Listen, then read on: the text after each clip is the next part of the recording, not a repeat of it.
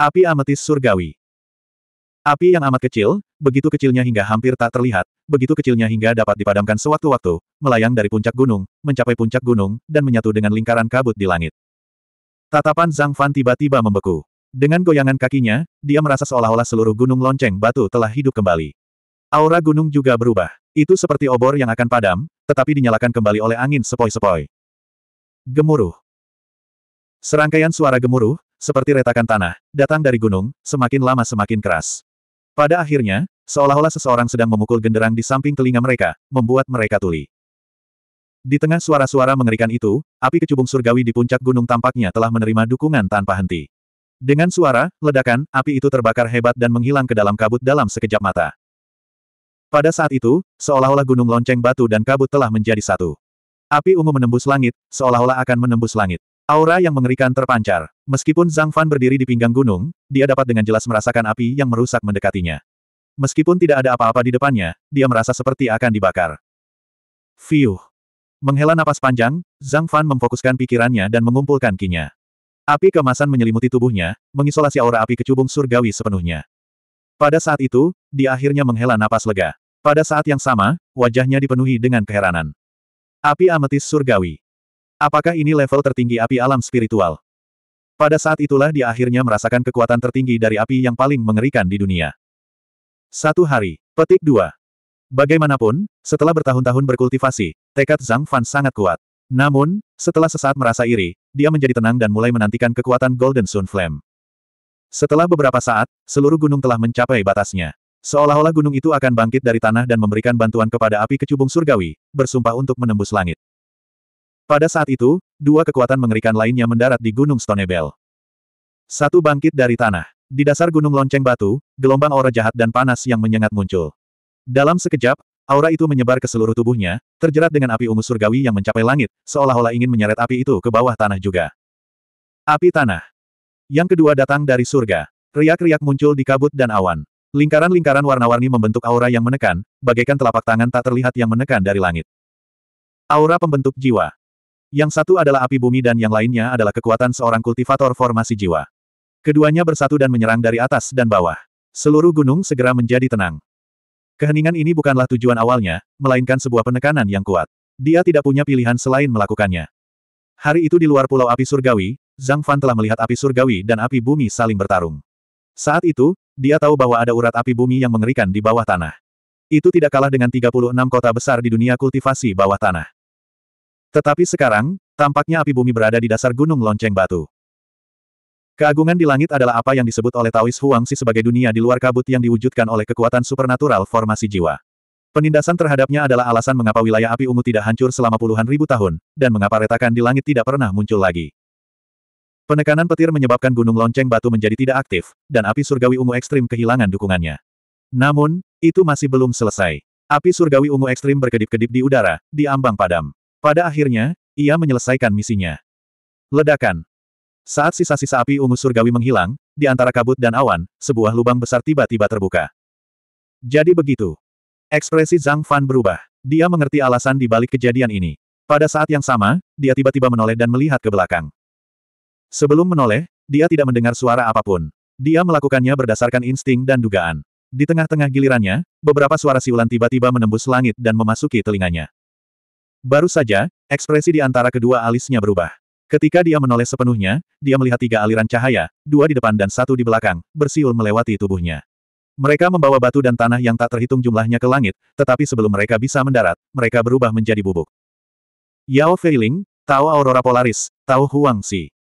Dengan sekali pandang, Zhang Fan mengidentifikasi pemilik ketiga aliran cahaya itu dari aura mereka. Ketika dia melihat lagi, dia melihat bahwa mereka melewati lubang besar di kabut yang menyusut dengan cepat. Seketika, serangkaian ledakan terdengar. Itu bukan lagi kekuatan langit, tetapi suara serangan terus-menerus. Kekuatan puncak alam formasi inti tidak diragukan lagi terungkap. Awan di langit berfluktuasi terus-menerus. Taois Huangxi benar-benar pemberani. Melihat ini, Zhang Fan tak dapat menahan diri untuk memuji dalam hati. Pendeta Tao Aurora Polaris berada di puncak alam pembentukan inti. Harta karun magisnya menggemparkan dunia. Meskipun ia gagal membentuk inti beberapa kali, ia hampir berhasil. Kekuatan magisnya mengandung sejumlah kekuatan jiwa baru lahir. Yao Feiling misterius dan sulit dipahami. Dia memiliki sistem teknik rahasia dan kemampuan mistisnya sendiri. Dia benar-benar berbeda dari kemampuan mistis pada umumnya. Tidak seorang pun tahu seberapa kuatnya dia. Selain itu, dari awal hingga akhir, dia tidak pernah benar-benar bergerak. Tidak seorang pun tahu kekuatan tersembunyinya. Dia berani menerobos di depan mereka berdua dan bertarung satu lawan dua. Bahkan Zhang Fan diam-diam mengagumi keberaniannya. Pada saat ini, suara yang familiar datang dari lubang yang berangsur-angsur mengecil. Teman Zhang, aku menunggumu. Menunggumu, menunggumu. Hahaha. Dua kata, menunggumu, tampaknya mengandung kekuatan ilahi yang tak terbatas, menggetarkan seluruh ruang dan menimbulkan gema yang tak terhitung jumlahnya. Tawa liar itu seperti hukum surga, dan bahkan suara gemuruh yang memenuhi langit dan ledakan yang menusuk telinga tidak dapat menenggelamkannya. Saat suara itu memasuki telinganya, ekspresi di mata Zhang Fan berubah. Langit yang penuh debu dan bebatuan beterbangan, dan suara siulan itu tak ada habisnya. Namun, di depan mata dan telinganya, semuanya tenang. Hanya lubang yang terus menyusut itu yang terlihat jelas. Lupakan. Bagaimana kalau aku bermain denganmu sebentar? Zhang Fan tersenyum. Tubuhnya bergerak, dan pelangi emas tiba-tiba muncul, menembus langit. Dalam sekejap, pelangi itu perlahan menghilang ke dalam kabut lubang. Begitu pelangi emas menghilang, awan dan kabut bergulung, dan lubang itu tertutup dalam sekejap. Kabut dan awan masih tampak indah, dan tidak ada jejak yang tersisa. Seluruh gunung lonceng batu dan seluruh wilayah api ungu menjadi sunyi. Huf, huf, huf. Angin menderu, dan awan-awan bergulung-gulung. Suara seperti sutra yang robek terdengar dari awan yang bergulung-gulung di langit. Segera setelah itu, pelangi emas berkelebat, dan sosok Zhang Fan muncul lagi. Saat dia muncul, korona di belakangnya, sembilan planet bertengger di matahari di tangannya, jantung naga berkobar melayang di udara, dan wujud Dharma gagak emas menyapu langit dan bumi. Seolah-olah akan meledak dengan kekuatan terkuatnya dalam sekejap. Akan tetapi, saat melihat keadaan sekitarnya, pergerakan Zhang Fan tak dapat dihentikan. Awalnya, ia mengira akan menghadapi pertempuran sengit begitu memasuki kabut. Ia tidak pernah menyangka akan begitu tenang. Tidak ada ledakan, tidak ada energi spiritual kacau yang berkelap-kelip dengan keindahan kehancuran. Hanya ada awan tipis yang menghiasi langit. Dunia yang luar biasa. Setelah merasakan keadaan sekelilingnya tenang, Zhang Fan perlahan-lahan menarik auranya, berdiri di udara, dan melihat sekeliling dengan kedua tangan di belakang punggungnya. Lingkungan tempat ini sangat familiar. Setelah melihat sekelilingnya, dia mengerti sumber keakraban itu. Tebing kabut kematian. Tempat ini seperti tebing kabut kematian yang lain. Pada titik ini, tidak ada yang mencurigakan tentang asal-muasal kabut yang dibicarakan oleh Taois Huangxi. Itu memang manifestasi dari kemampuan ilahi transformasi dunia. Jika seseorang ingin menunjukkan perbedaan antara dunia ini dan Miss Death Cliff, itu adalah bahwa awan di bawah kaki mereka tidak lagi berwujud. Sebaliknya, mereka benar-benar seperti awan di langit. Meskipun tampak padat, mereka sebenarnya lembut dan tidak dapat dipengaruhi oleh kekuatan. Seolah-olah mereka adalah dunia nyata. Ketika ia melihat ke bawah, yang terlihat hanyalah gunung-gunung yang menjulang dan runtuh, sungai-sungai, danau-danau, dan laut-laut. Sejauh mata memandang, tidak ada ujungnya. Dunia ini masih kurang bersemangat. Tidak ada satupun makhluk hidup di dunia yang luas ini. Sejauh mata memandang, dunia ini bahkan lebih luas dan sunyi daripada Miss Death Cliff. Itulah perasaan luas yang unik yang hanya ada di dunia nyata. Saat dia berdiri di dunia ini, alis Zhang Fan perlahan berkerut. Tentu saja merupakan hal yang baik bahwa dia tidak terseret ke dalam pertempuran begitu dia masuk. Namun, pada saat ini, dunia ini tampaknya tidak terbatas. Saat ini, Huang Xi dan dua lainnya bertarung dengan sengit, tetapi tidak ada suara sama sekali. Jelas, mereka dipisahkan oleh jarak yang tak terukur. Setelah melihat sekeliling, tepat saat dia hendak melihat sekeliling, hati Zhang Fan tiba-tiba tergerak.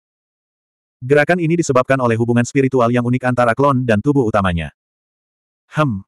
Meskipun dia sedikit bingung, tindakannya tidak ragu-ragu. Begitu dia merasa ada yang salah, dia membalikkan tangannya, dan taman bodi muncul dengan cahaya hijau giok yang cemerlang. Dari dalam, bayangan hitam melesat keluar. Begitu muncul, bayangan itu memperlihatkan ketajamannya. Pedang Ki Awan yang membumbung melesat ke langit. Pedang kuno di tangannya bersinar terang, seolah-olah pedang Ki material melingkarinya. Klon dari seorang pembudidaya pedang. Setelah muncul dengan aura mengerikan yang tampaknya mampu menembus seluruh dunia, klon kultivator pedang itu tidak banyak berkomunikasi dengan Zhang Fan. Pandangannya tidak pernah lepas dari pedang kuno di tangannya. Tidak perlu komunikasi. Dalam sekejap, Zhang Fan memahami keseluruhan cerita melalui hubungan khusus antara klon dan tubuh utamanya. Pandangannya juga terfokus pada pedang kuno itu. Pedang kuno ini bukanlah benda biasa. Meskipun waktu yang dibutuhkan klon pembudidaya pedang untuk menyempurnakannya dengan ki pedang tidak terlalu lama, materialnya terlalu bagus. Meskipun baru saja muncul di dunia, aura yang luas dan tajam tetap membuatnya menonjol dari yang lain. Sekilas, orang bisa tahu bahwa itu bukanlah benda biasa. Pada saat ini, pedang kuno itu bergetar, seolah-olah sangat bersemangat. Meskipun dipisahkan oleh klon dan perasaannya melemah, Zhang Fan masih dapat dengan jelas memahami kegembiraan di dalamnya. Mungkinkah? Namun, dalam sekejap mata, keraguan di hatinya berubah menjadi keterkejutan, dan sebuah kemungkinan melayang dalam benaknya. Sambil menangkap kilatan cahaya spiritual, Zhang Fan menjadi tenang sejenak. Dengan sebuah pikiran, klon kultivator pedang itu tiba-tiba melepaskan pedang kuno di tangannya. Ribuan ki pedang bersiul di udara, dan pedang kuno itu tiba-tiba mendapatkan kembali kebebasannya. Pedang itu terbungkus dalam ki pedang yang tak terbatas saat melesat melintasi langit, langsung menerjang ke arah laut tak terbatas di bawahnya. Ledakan. Ombak besar membumbung tinggi ke langit. Pedang kuno itu bersinar terang, pecah ke dalam laut dan menghilang. Di belakangnya ada pelangi emas, terbungkus dalam tubuh utama dan klon Zhang Fan, mengikuti pedang kuno itu di sepanjang laut yang pecah. Dalam sekejap, mereka menghilang ke kedalaman laut. Setelah beberapa saat, pada jarak yang tidak diketahui di bawah laut, setitik cahaya menembus mata Zhang Fan. 512. Lautnya sedalam ribuan mil. Di Laut Biru, ombak berkilauan. Semakin dalam ia menyelam, semakin sulit bagi cahaya dari dunia luar untuk masuk. Biru muda berubah menjadi biru tua, dan berangsur-angsur menjadi hitam pekat. Hanya sedikit cahaya pedang dan pelangi kemasan, seperti lampu terang di malam hari, menerobos lautan tak berujung dan langsung menuju ke dasar laut. Sepanjang perjalanan, tidak ada ikan atau rumput laut, hanya gelembung-gelembung bintang yang dibawa ombak yang terus naik. Selain itu, tidak ada kehidupan. Seluruh laut sedalam dunia bawah. Semakin dalam ia menyelam, semakin sesak napas yang ia rasakan.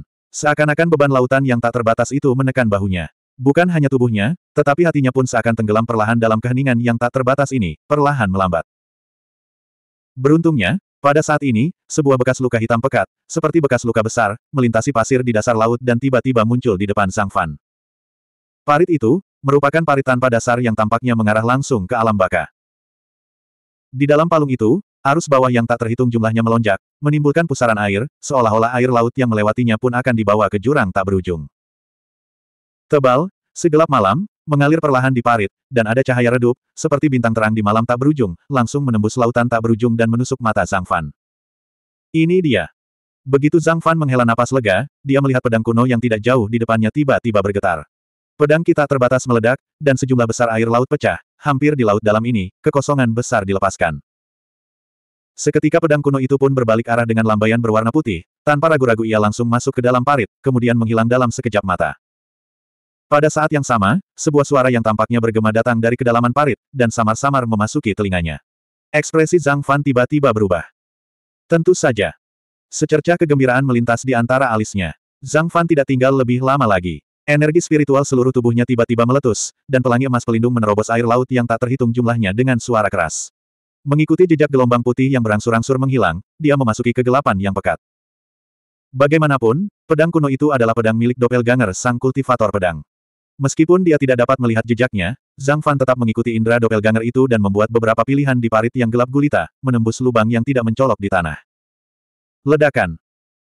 Begitu dia masuk, pemandangan di depan matanya bergemuruh terang, dan sinar cahaya yang tak terhitung jumlahnya yang tampak seperti materi menembus matanya, menyebabkan dia tidak dapat menahan diri untuk tidak menutup matanya, dan dia baru mampu beradaptasi setelah beberapa saat.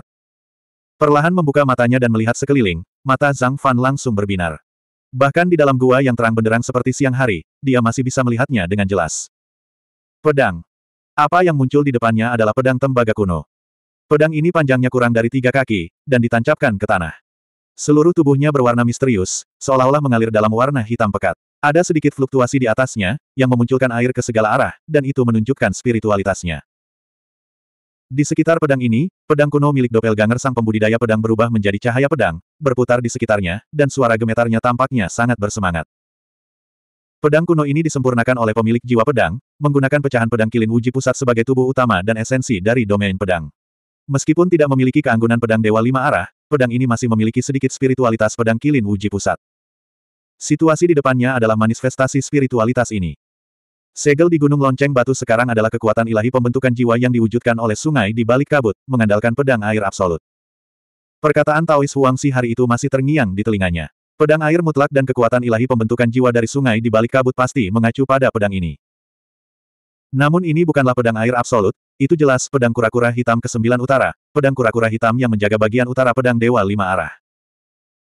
Alasan mengapa Zhang Fan dapat mengenali identitasnya dalam sekejap, selain reaksi aneh dari doppelganger pembudidaya pedang kuno, adalah kelainan yang terwujud di sekitar pedang kura-kura hitam ke-9 utara. Di sekeliling pedang kura-kura hitam, aliran air Suan Ming mengalir deras, menyebabkan badan pedang itu tampak seperti bunga teratai yang muncul dari air. Jelas bahwa pedang itu berada di bawah air laut yang tak terukur banyaknya, di palung laut yang dalam, tetapi tidak menyentuh setetes air pun. Pada saat yang sama ketika pedang itu tidak menyentuh setetes air pun, di badan pedang itu, lingkaran air yang lembab terus-menerus muncul. Dengan setiap perubahan, aliran air itu terus mengalir deras. Di atas tubuh pedang, kabut tebal seperti awan. Di bawah pengaruh pedang kura-kura hitam ke-9 utara, kabut tanpa sadar mengembun menjadi bentuk binatang suci. Di tengah kabut, seekor kura-kura raksasa mengembun di bawah, meraung ke langit. Riak-riak air muncul di semua sisi, dan di atasnya ada seekor ular terbang, saling melilit. Matanya bersinar dengan cahaya dingin. Kura-kura hitam utara. Pada pandangan pertama, nama yang menggelegar muncul di benak Zhang Fan. Kura-kura hitam merupakan gabungan dari kura-kura dan ular. Berada di utara, maka disebut kura-kura hitam dan tubuhnya ditutupi sisik. Kura-kura hitam utara adalah salah satu dari empat roh. Ia lahir dari bulan, dan berwujud kura-kura dan ular. Ia menjelajahi sembilan negeri dan mengendalikan semua roh. Ia adalah dewa yang menjaga wilayah utara, dan ia juga pemimpin serangga purba. Bagaimana mungkin Zhang Fan tidak mengenal binatang dewa yang begitu terkenal? Sama seperti ketika dia melihat pecahan pedang uji kilin di tengah, bayangan virtual kura-kura hitam juga muncul di tubuh pedang kura-kura hitam. Kekuatan tak terlihat meletus, dan air laut di sekitarnya pun berubah warna. Mungkin karena akumulasi puluhan ribu tahun, semuanya telah berubah menjadi air bawah tanah hitam ke sembilan utara. Air hitam Northern Unity adalah jenis air alami yang sangat langka. Air ini terutama mengandung ki musim dingin dan ki dingin yang mematikan, dan jika digunakan dengan kemampuan ilahi, maka air ini mampu membekukan tubuh dan jiwa, membuatnya benar-benar sangat tangguh. Tidak heran jika kultivator alam transformasi ilahi di luar kabut dapat menjaga domain api ungu selama puluhan ribu tahun. Ada alasannya. Pada saat ini, Zhang Fan akhirnya mengerti. Ketika pertama kali mendengar tentang ini, dia ragu. Tidak peduli seberapa kuat gunung di balik kabut, dia hanyalah seorang kultivator alam transformasi ilahi. Bagaimana dia bisa menggunakan sesuatu yang diandalkan untuk menciptakan dunia dan menyegel tempat ini secara paksa selama puluhan ribu tahun? Sekarang setelah dia melihat pedang kura-kura hitam ke-9 utara, dia punya jawabannya. Pedang ajaib lima arah adalah benda spiritual yang dibentuk oleh langit dan bumi. Benda ini berbentuk pedang dan tidak memiliki kemampuan untuk menyerang atau bertahan. Fungsi utamanya adalah untuk menekan dunia dan mengendalikan lima elemen. Sama seperti para pembudidaya pedang kuno, mereka bersusah payah mencari pedang ajaib lima arah dan membunuh banyak orang sebelum mendapatkannya. Namun, mereka tidak menggunakannya untuk melawan musuh. Sebaliknya, mereka membentuk formasi pedang lima arah dan menggunakannya untuk menjaga fondasi terakhir wilayah pedang. Di dunia di balik kabut, Gong Sun Yuan telah memperoleh harta karun ini dari suatu tempat. Pilihannya tidak berbeda dengan pilihan para pembudidaya pedang kuno. Dia tidak menggunakannya untuk melawan musuh-musuhnya. Sebaliknya, dia menggunakannya sebagai dasar transformasi keilahian dan menciptakan dunia ini. Setelah mengetahui semua ini, mata Zhang Fan berangsur-angsur berbinar. Dengan pikirannya, ia mula-mula mengeluarkan botol giok dan menampung air hitam Suanming di sekitar pedang kura-kura hitam ke-9 utara. Bahkan dengan harta karun seperti pedang kura-kura hitam, mustahil untuk memadatkan air hitam dunia bawah hitam ke-9 di utara tanpa puluhan ribu tahun. Meskipun tidak ada gunanya sekarang, itu tetap merupakan harta karun yang sangat langka. Bagaimana mungkin itu bisa disia-siakan? Setelah menempelkan beberapa segel dan menyimpannya, tatapan Zhang Fan beralih ke pedang kura-kura hitam ke-9 utara, yang telah kehilangan perlindungan air hitam Suanming dan sepenuhnya terekspos di depannya. Cahaya hitam pada pedang itu menjadi semakin intens, seolah-olah memiliki sifat spiritual dan dapat merasakan keberadaan Sang Fan. Pada saat ini, tiba-tiba ada cahaya terang di dalam gua. Cahaya merah menyala itu bertarung dengan Suan Mingki. Itu adalah mutiara naga sembilan api. Aneh, aneh sekali. Suara tahu terdengar, mengaduk ombak di air laut sekitarnya. Hem, tetuaku, apa yang aneh tentang hal itu? Zhang Fan yang belum tenang karena kegembiraannya karena tiba-tiba memperoleh pedang kura-kura hitam ke sembilan utara, tidak dapat menahan diri untuk bertanya dengan ragu. Semangat pedang. Pendeta Tauku menggelengkan kepalanya dengan jengkel. Jika bukan karena mutiara naga api sembilan yang disempurnakan oleh Zhang Fan, dia pasti sudah menghancurkannya di kepala Zhang Fan. Ya, benar. Zhang Fan mengangguk. Pengingat dari pendetaku membuatnya menyadari apa yang sedang terjadi. Tidak seperti pedang kura-kura hitam ke-8 pusat, meskipun pedang kura-kura hitam masih utuh dan memiliki sifat spiritual, ia tidak memiliki roh pedang. Tetapi baginya, ini adalah hal terbaik yang dapat terjadi padanya. Roh pedang dari pedang kura-kura hitam ke-8 pusat, pemilik jiwa pedang, adalah eksistensi yang menakutkan. Ini adalah pedang kekejaman, yang setara dengan klon pedang kekejaman. Ia adalah seorang ahli yang sedikit lebih kuat dari Zhang Fan, lebih seperti pemilik tubuh aslinya, jiwa pedang. Jika bukan untuk melindungi alam pedang pusat dari kehancuran, ia mungkin bisa menghancurkan Zhang Fan dan pedang kekejaman sampai mati hanya dengan satu jari. Jika pedang kura-kura hitam ke-9 utara memiliki roh pedang dan setengah kekuatan pemilik jiwa pedang, Zhang Fan harus mundur dan tidak berani memiliki ide apa pun tentangnya. Untungnya, hal itu tidak terjadi. Telapak tangan Zhang Fan perlahan-lahan terulur dan menggenggam erat gagang pedang. Dalam sekejap, Qi Xuanming meledak, membekukan air laut ke segala arah. Udara dingin yang mengerikan masih mengalir ke segala arah. Dari luar, parit besar itu tampak seperti telah berubah menjadi parit es. Mengerikan, benar-benar mengerikan. Zhang Fan menggigil. Melihat es hitam yang menutupi penglihatannya, dia tidak bisa menahan diri untuk tidak menggigil. Untungnya, pedang kura-kura hitam ke-9 utara tidak memiliki kemampuan untuk melukai orang. Jika tidak, kekuatan es hitam yang mengerikan itu saja sudah cukup untuk membunuh semua kultivator di bawah alam jiwa baru lahir. Meskipun dia merasa beruntung, dia tidak bisa menahan perasaan bahwa itu sangat disayangkan. Jika pedang ini adalah senjata pembunuh, kekuatannya tidak dapat dibandingkan dengan harta karun kehidupan yang belum dia sempurnakan. Dia menggelengkan kepalanya sedikit dan membuang jauh-jauh pikiran serakahnya. Tangannya mengencang dan dia hendak mencabut pedang kura-kura hitam, tetapi dia tiba-tiba teringat sesuatu dan membeku. Haha, nak, tampaknya kau tidak membiarkan pedang suci ini mengenai kepalamu. Lumayan, lumayan. Suara sang Taois pahit itu penuh dengan ejekan. Sedikit lagi. Zhang Fan tersenyum pahit dan perlahan melepaskan gagang pedang. Dia akhirnya mengerti mengapa pendeta Tao pahit muncul saat ini. Dia pasti takut akan melakukan sesuatu yang bodoh. Bahkan jika dia tidak menyadarinya tepat waktu, pendeta Tao pahit akan memperingatkannya. Itulah sesuatu yang bisa diandalkan. Sungguh tidak mudah mengalahkanmu. 513. Sungguh tidak mudah mengalahkanmu. Sungguh tidak mudah mengalahkanmu. Melihat pedang kura-kura hitam ke-9 utara yang masih tertancap di tanah, Zhang Fan tidak dapat menahan diri untuk menggelengkan kepalanya dan tersenyum pahit. Tidak ada yang dapat dia lakukan. Tempat di mana dia berada sekarang sebenarnya adalah perwujudan kemampuan pembentukan jiwa Jiang San di luar kabut. Fondasinya adalah pedang kura-kura hitam ke-9 utara di depannya. Selama dia mencabut pedang itu, seluruh dunia pasti akan runtuh. Namun pada saat itu, apakah dia bisa pergi dengan pedang ini atau tidak adalah sebuah masalah. Lagi pula, tujuannya bukanlah pedang ini. Gunung Lonceng Batu dan Lonceng Dong Huang adalah apa yang benar-benar ia butuhkan untuk diperoleh dalam perjalanan ini. Zhang Fan mundur dua langkah dan meninggalkan area yang diselimuti cahaya pedang. Dia perlahan duduk bersila dan mulai merenung. Saat ini, kedua kekuatan di luar sedang bergulat, dan hasilnya masih belum diketahui. Mereka semua adalah orang-orang yang menyembunyikan kartu truf mereka dengan sangat dalam. Misalnya, Taois Huangxi, dia tidak pernah mengkhawatirkan orang ini. Identitasnya kemungkinan besar tidak sesederhana itu. Adapun Yao Feiling, tidak perlu mengatakan apa-apa. Dari awal hingga akhir, dia bahkan tidak bergerak. Taois Aurora Polaris melakukan segalanya untuknya. Taois Aurora Polaris merupakan seorang tua yang kuat. Ini adalah kontes kekuatan antara manusia, dan kontes kekuatan antara dunia tidak kalah intens dari sebelumnya. Ketika dia masih berada di Gunung Lonceng Batu, dia melihat pemandangan dunia kabut dan api bumi menyerang Gunung Lonceng Batu dan api surgawi ungu ekstrim. Apa yang tersembunyi di baliknya tentu saja adalah dunia api surgawi. Di luar, terjadi pertarungan antara kekuatan dunia. Di dalam, ada kultivator yang setidaknya berada di puncak alam core formation dan di atasnya yang bertarung. Yang harus dilakukan Zhang Fan adalah mendapatkan Stone Bell Mountain di kolam air berlumpur ini. Jika dia tidak bisa mencapai ini, tidak peduli apa pun prestasi yang dimilikinya atau harta apa yang diperolehnya, semuanya akan dianggap sebagai kegagalan. Itu tidak akan cukup untuk menebus kerugian besar karena kehilangan kesempatan untuk memurnikan harta sihir ikatan kehidupan. Jumlah sebesar itu, tembaga emas ungu api surgawi, kemungkinan besar hanya akan datang sekali. Dalam kehidupan ini, akan sulit untuk menemukannya lagi. Di dunia yang tenang ini yang diselimuti es misterius, Zhang Fan merenung cukup lama. Matanya berangsur-angsur menjadi tegas seolah-olah telah menyerap suatu zat, membentuk aura yang menusuk. Tiba-tiba, Zhang Fan berdiri dan menatap pedang penyu hitam ke sembilan utara yang diam-diam dimasukkan ke tanah. Dia bergumam pada dirinya sendiri, akan ada kesempatan. Kemudian, dia perlahan mundur. Ke mana pun cahaya merah itu lewat, es mencair dan air laut terbelah.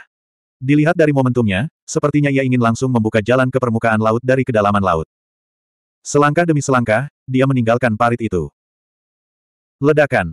Ombak besar membumbung tinggi ke angkasa, membawa serpihan-serpihan kristal. Itu adalah pecahan-pecahan es yang terlempar keluar akibat kekuatan ledakan dahsyat dari dasar laut. Dalam sekejap, mereka mencair tanpa jejak. Ombak tiba-tiba muncul di permukaan laut, dan ombak yang berkilauan itu pecah. Zhang Fan melambung ke langit tanpa setetes air pun di tubuhnya. Terburu-buru keluar dari laut yang dalam dan menyesakkan, dia tiba-tiba merasa sekelilingnya menjadi terang. Langit tinggi, dan awan-awan tampak cerah. Seolah-olah semua pori-pori di tubuhnya mulai bernapas pada saat yang sama, dan seluruh tubuhnya terasa nyaman. Namun, perasaan ini hanya berlangsung sesaat. Sebelum dia bisa merasakan perasaan terbuka yang tiba-tiba ini, wajahnya tiba-tiba berubah. Gemuruh, gemuruh. Seolah-olah ombak yang tak berujung mengalir deras melalui ngarai. Suara gemuruh itu samar-samar terdengar dari cakrawala dan perlahan-lahan menjadi memekakkan telinga. Rasanya seolah-olah seluruh dunia yang berkabut telah dibatasi oleh lapisan pembatas, dan ombak yang tak berujung itu hanya bisa melonjak dalam jarak yang pendek. Saat menoleh, Awalnya dia tidak bisa melihatnya. Namun dalam sekejap mata, saat suara gemuruh itu menghilang, sebuah garis putih muncul di keempat sisi laut yang tak terbatas itu. Garis itu tidak berhenti bahkan untuk sesaat, lalu tiba-tiba muncul di depannya. Runtuh, dunia berkabut ini runtuh. Wajah Zhang Fan semuram air. Begitu situasi itu muncul di hadapannya, dia tahu apa yang telah terjadi. Ini jelas merupakan akhir dari seluruh dunia yang berkabut. Ke segala arah, ruang itu runtuh, seperti api unggun yang membakar hingga ekstrim, tiba-tiba runtuh ke arah pusat. Jika dia mencabut pedang penyu hitam Gui ke sembilan utara tanpa berpikir, hasil seperti itu akan menjadi hal yang wajar. Masalahnya adalah dia tidak melakukannya sama sekali. Apa yang telah terjadi? Zhang Fan berdiri di udara, menyaksikan seolah-olah dunia sedang terbalik, dan ruang yang luas itu terus-menerus dipadatkan. Dalam sekejap, garis putih di langit, yang hampir tak terlihat, menerobos bidang penglihatannya seperti tembok tinggi yang terbuat dari gelombang dahsyat. Tidak akan memakan waktu satu jam. Diam-diam memperkirakan kecepatan kompresi yang terbalik, Zhang Fan memunculkan waktu sulit dalam benaknya. Hanya dalam waktu sekitar satu jam, seluruh dunia mungkin akan runtuh seukuran palung samudera kecil tempat pedang kura-kura hitam Gui ke-9 utara berada. Tepat pada saat ini, gemuruh-gemuruh itu tiba-tiba dibayangi oleh ledakan gemuruh. Suara ini, semakin dekat dan dekat, membawa serta hembusan angin yang berkibar di sudut pakaian Zhang Fan. Taois Huangxi. Yao Feiling, Daois Ciguang. Hati Zhang Fan tergerak, dan dia melihat ke arah suara itu. Tak perlu dikatakan, yang mampu membuat gerakan sebesar itu saat ini, tentu saja mereka bertiga. Benar saja, setelah beberapa saat, satu di depan dan dua di belakang, tiga aliran cahaya melesat di permukaan laut. Kadang-kadang, cahaya lima warna membumbung tinggi ke langit, dan api serta kabut menari bersama. Satu orang melarikan diri, dua orang mengejar, tiga orang berkelahi tiba-tiba menjadi pemandangan paling menarik di belahan dunia ini. Baik itu cahaya maupun suara, seolah-olah mereka bertiga telah menyerap semua cahaya dan suara. Aliran cahaya menari-nari dan tiba-tiba mendekat. Hampir pada saat yang sama ketika Zhang Fan melihat mereka bertiga, pihak lain juga menemukan keberadaannya. Taois Zhang, kita bertemu lagi. Aku tahu kamu pasti akan datang, hahaha. Taois Huangxi, bertarung satu lawan dua, terus mengejar hingga sekarang. Rambutnya acak-acakan, pakaiannya compang camping, dan dia tampak babak belur dan kelelahan. Namun, semangat kepahlawanannya tidak luntur, dan tawannya masih penuh energi. Taois Zhang, kau datang di waktu yang tepat. Demi dunia, Tolong bantu aku membunuh iblis ini. Pada saat yang sama, wajah Taois Jiguang berseri-seri karena kegembiraan, dan dia berteriak keras. Tampaknya Taois Huangxi ini benar-benar telah membawa banyak masalah bagi mereka berdua. Dia bahkan melupakan penolakan Zhang Fan sebelumnya dan langsung meminta bantuan. Zhang Fan awalnya tersenyum tipis saat melihat gerakan mereka. Dia tidak berniat untuk langsung campur tangan, tetapi begitu mendengar kata-kata Daois Jiguang, wajahnya tiba-tiba menjadi gelap. Demi dunia lagi, sekarang setelah mendengar kata-kata ini, dia tidak bisa tidak memikirkan, usaha, dan pengorbanan, Daois Jiguang, dan dia tidak bisa menahan rasa jijik. Jika itu hanya usaha kecil, atau bahkan pertarungan yang sengit, dan itu dapat membawa manfaat bagi semua makhluk hidup di dunia, maka tidak ada masalah. Zhang Fan tidak keberatan. Namun, orang ini terus berbicara tentang usaha dan pengorbanan, dan itu hanya membuatnya merasa jijik. Dalam kehidupan sebelumnya, ia pernah mendengar bahwa ada seorang ulama terkenal yang berkata bahwa mencabut sehelai rambut akan memberikan manfaat bagi dunia. Saat itu, dia tidak mengerti apa yang dia maksud dan diam-diam membenci orang ini. Sekarang tampaknya jika dia tidak memiliki pengetahuan dan hati seperti ini, dunia akan dipenuhi dengan jiguang, menggunakan kebenaran untuk memaksa orang. Mencabut sehelai rambut hari ini seperti memotong lengan di bawah cahaya, dan lusa, kepala yang bagus akan diberikan kepada kapak, dan itu tidak lebih dari sekadar tawa dari karnivora. Hati Zhang Fan dipenuhi dengan penghinaan yang sangat, tetapi dia tidak mengatakan apa-apa, juga tidak bergerak. Ekspresinya tidak berubah, dan dia membiarkan mereka bertiga menjaga jarak tertentu dan melayang tidak terlalu jauh darinya. Dalam sepersekian detik, dunia bergemuruh, ombak menjadi tak menentu, dan awan berhamburan. Keempat ahli formasi inti puncak saling berhadapan secara diam-diam.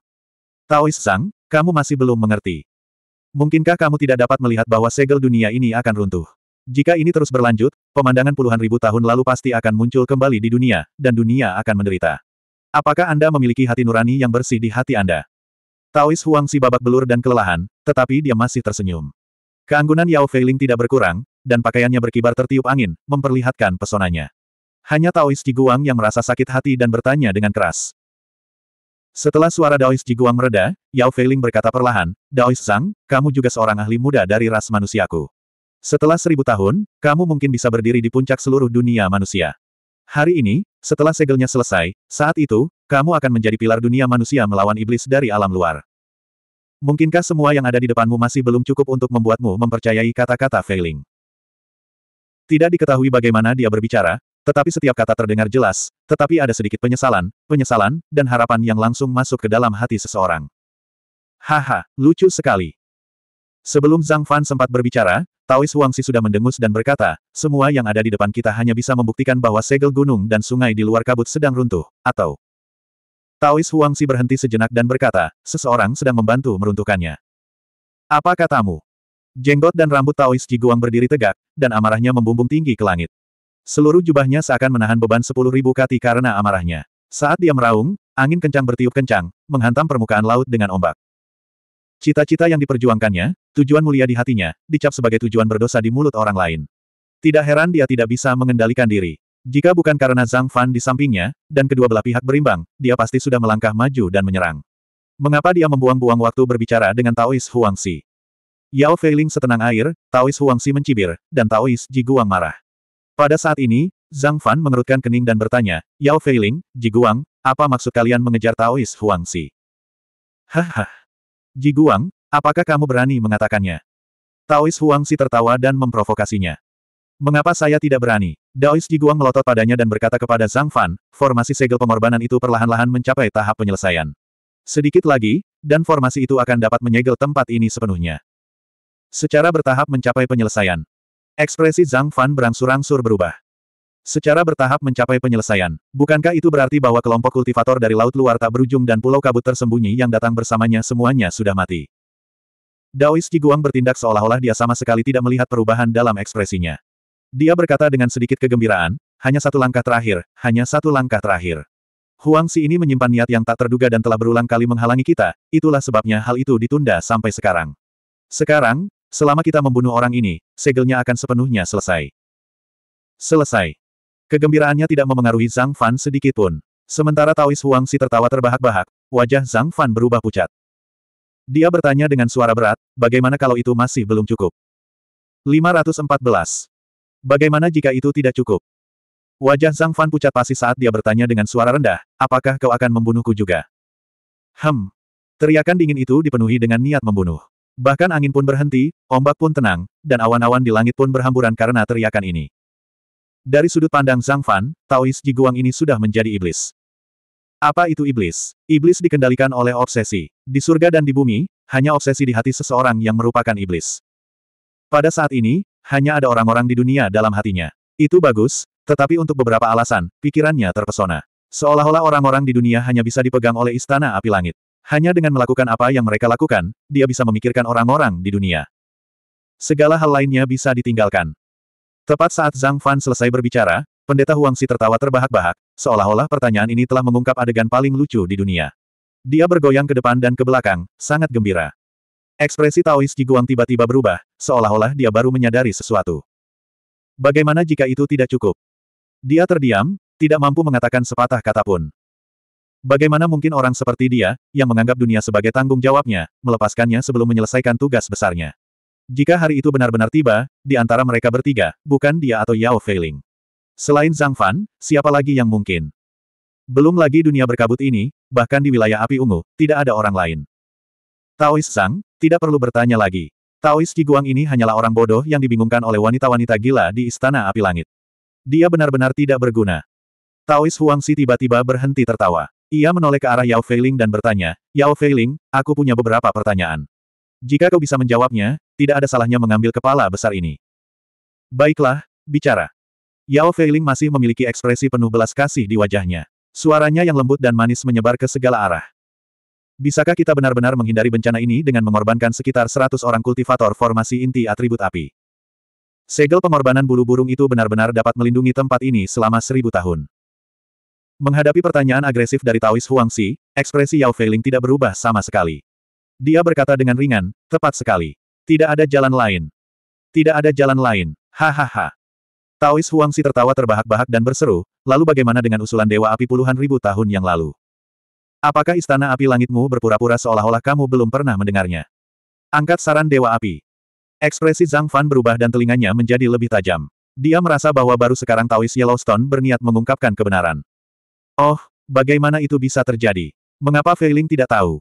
Yao Feiling layak menjadi seseorang yang mewarisi gelar Putri Surgawi. Dengan sedikit cemberut, kecantikannya alami. Kerutan dan senyumnya memikat. Namun, Taois Huangxi tidak berniat sedikit pun untuk tergerak. Dia mendengus dingin dan berkata, tempat ini awalnya adalah kota penting di Laut Luar, tempat energi spiritual bertemu dan Earth Fire mengendap. Itu adalah lokasi nadi Earth Fire terbesar di Laut Luar. Api Tanah Memikirkan pemakaman langit awan ungu yang dilihatnya di luar beberapa hari lalu, dan juga kekuatan api bumi yang muncul di bawah gunung lonceng batu beberapa saat yang lalu, Zhang Fan samar-samar mengerti apa yang dimaksud Taois Huangxi.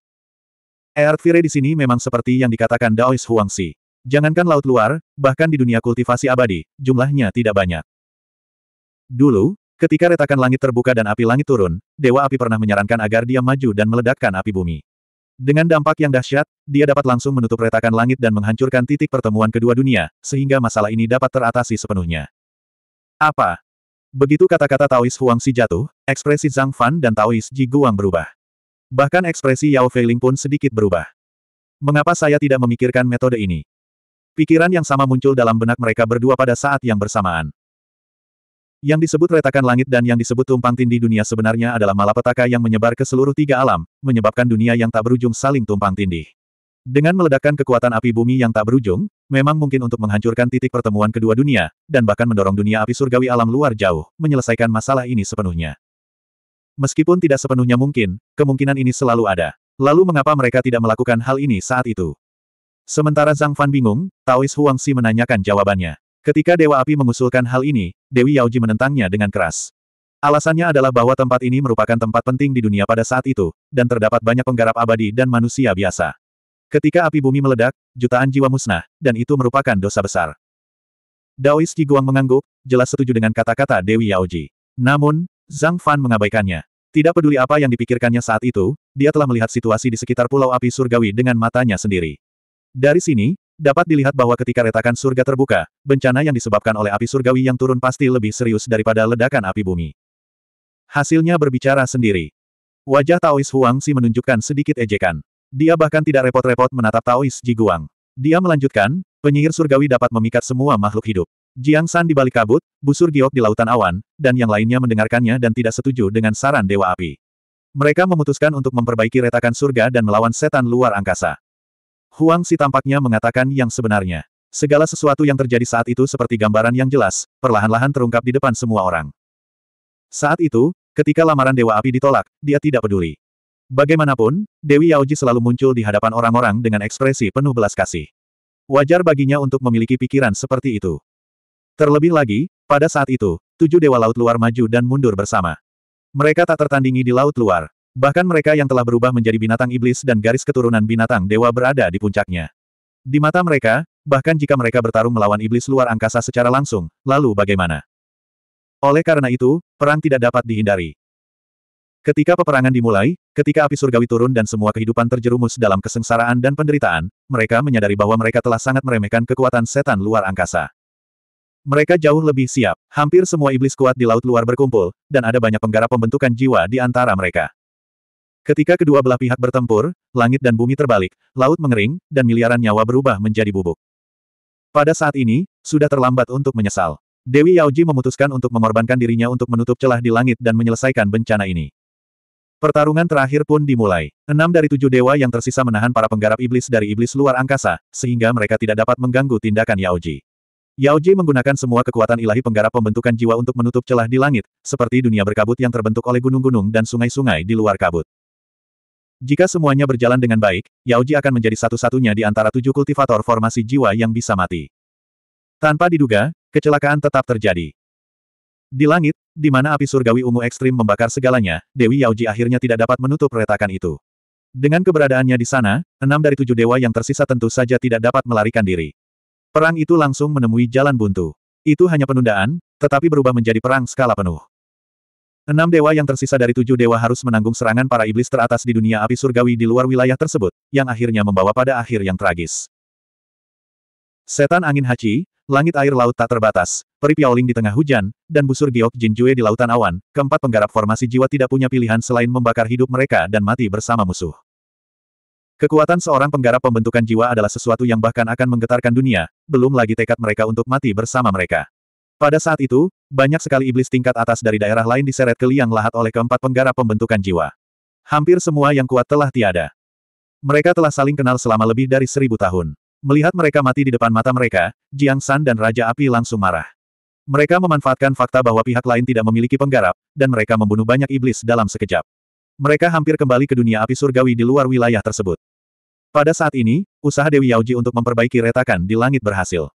Keindahan yang tak tertandingi berubah menjadi penghalang yang memisahkan kedua tempat. Awan menghilang dan hujan berhenti. Pertempuran sengit berlangsung selama beberapa tahun, tetapi hasilnya tidak terduga. Tujuh dewa mati bersama musuh atau memperbaiki retakan di langit. Lima dari mereka mati. Untuk sesaat, mereka hanya ada dalam nama. Setelah itu, kepala istana pertama dari Istana Api Surgawi, penerus Yaoji, mengirim pesan kepada Jiang San dan Raja Api, mengatakan bahwa ada bahaya tersembunyi di domain api ungu, tapi... Kalian semua melihatnya. Pendeta Tao Huangxi menunjuk ke langit dan mencibir. Memang, selama perjalanan ini, Jiang San dan Dewa Api Abadi tidak muncul di dunia lagi. Mereka pasti sudah meninggal. Tak satu pun dari tujuh Dewa Abadi yang hidup. Jika Dewi Yaoji tidak ikut musnah bersamanya, orang-orang akan curiga dengan motifnya melakukan hal itu. Yaoji, saya pikir itu Yaoji. Jika Zhang Fan hanya ragu, kata-kata Taois Huangxi adalah tamparan di wajah. Dia secara langsung mempertanyakan citra Yaoji yang penuh belas kasih terhadap keadaan alam semesta. Omong kosong. Dengan statusmu, bagaimana kamu tahu apa yang terjadi di masa lalu? Api bumi di sini tidak cukup untuk memperbaiki retakan. Itulah sebabnya para leluhur kita mengorbankan hidup mereka dan mati demi semua makhluk hidup. Bagaimana mungkin kalian memfitnah mereka? Wajah Yao Feiling tampak muram. Ia menatap dingin ke arah Taois Huangxi. Pada saat ini, niat membunuh pada gadis cantik ini tidak lagi tersembunyi. Bibi bela diri, orang ini keras kepala. Dia bisa dijadikan tumbal untuk susunan itu. Tolong bantu Feiling. Yao Feiling tidak berkata apa-apa lagi kepada Taois Huangxi dan menoleh ke Taois Jiguang. Hah, oke. Okay. Pendeta Tao Jiguang sedang dalam keadaan tidak sadar. Ia tampak sedang memikirkan apa yang dikatakan pendeta Tao Huangxi. Kemudian, ia tampak terbangun oleh kata, bibi bela diri. Ia memikirkan sesuatu dan tatapannya menjadi tegas. Melihat ini, Zhang Fan menghela nafas dan perlahan-lahan meningkatkan kekuatan spiritualnya. Bahkan tanpa kata-kata Taois Huangxi yang sangat dapat dipercaya, dia tidak akan memilih untuk berdiri di pihak Yao Feiling. Karena dia sudah terlibat, dia lebih suka bekerja sama dengan Huang Xi. Paling tidak, dia tidak akan dikorbankan atas nama kebenaran.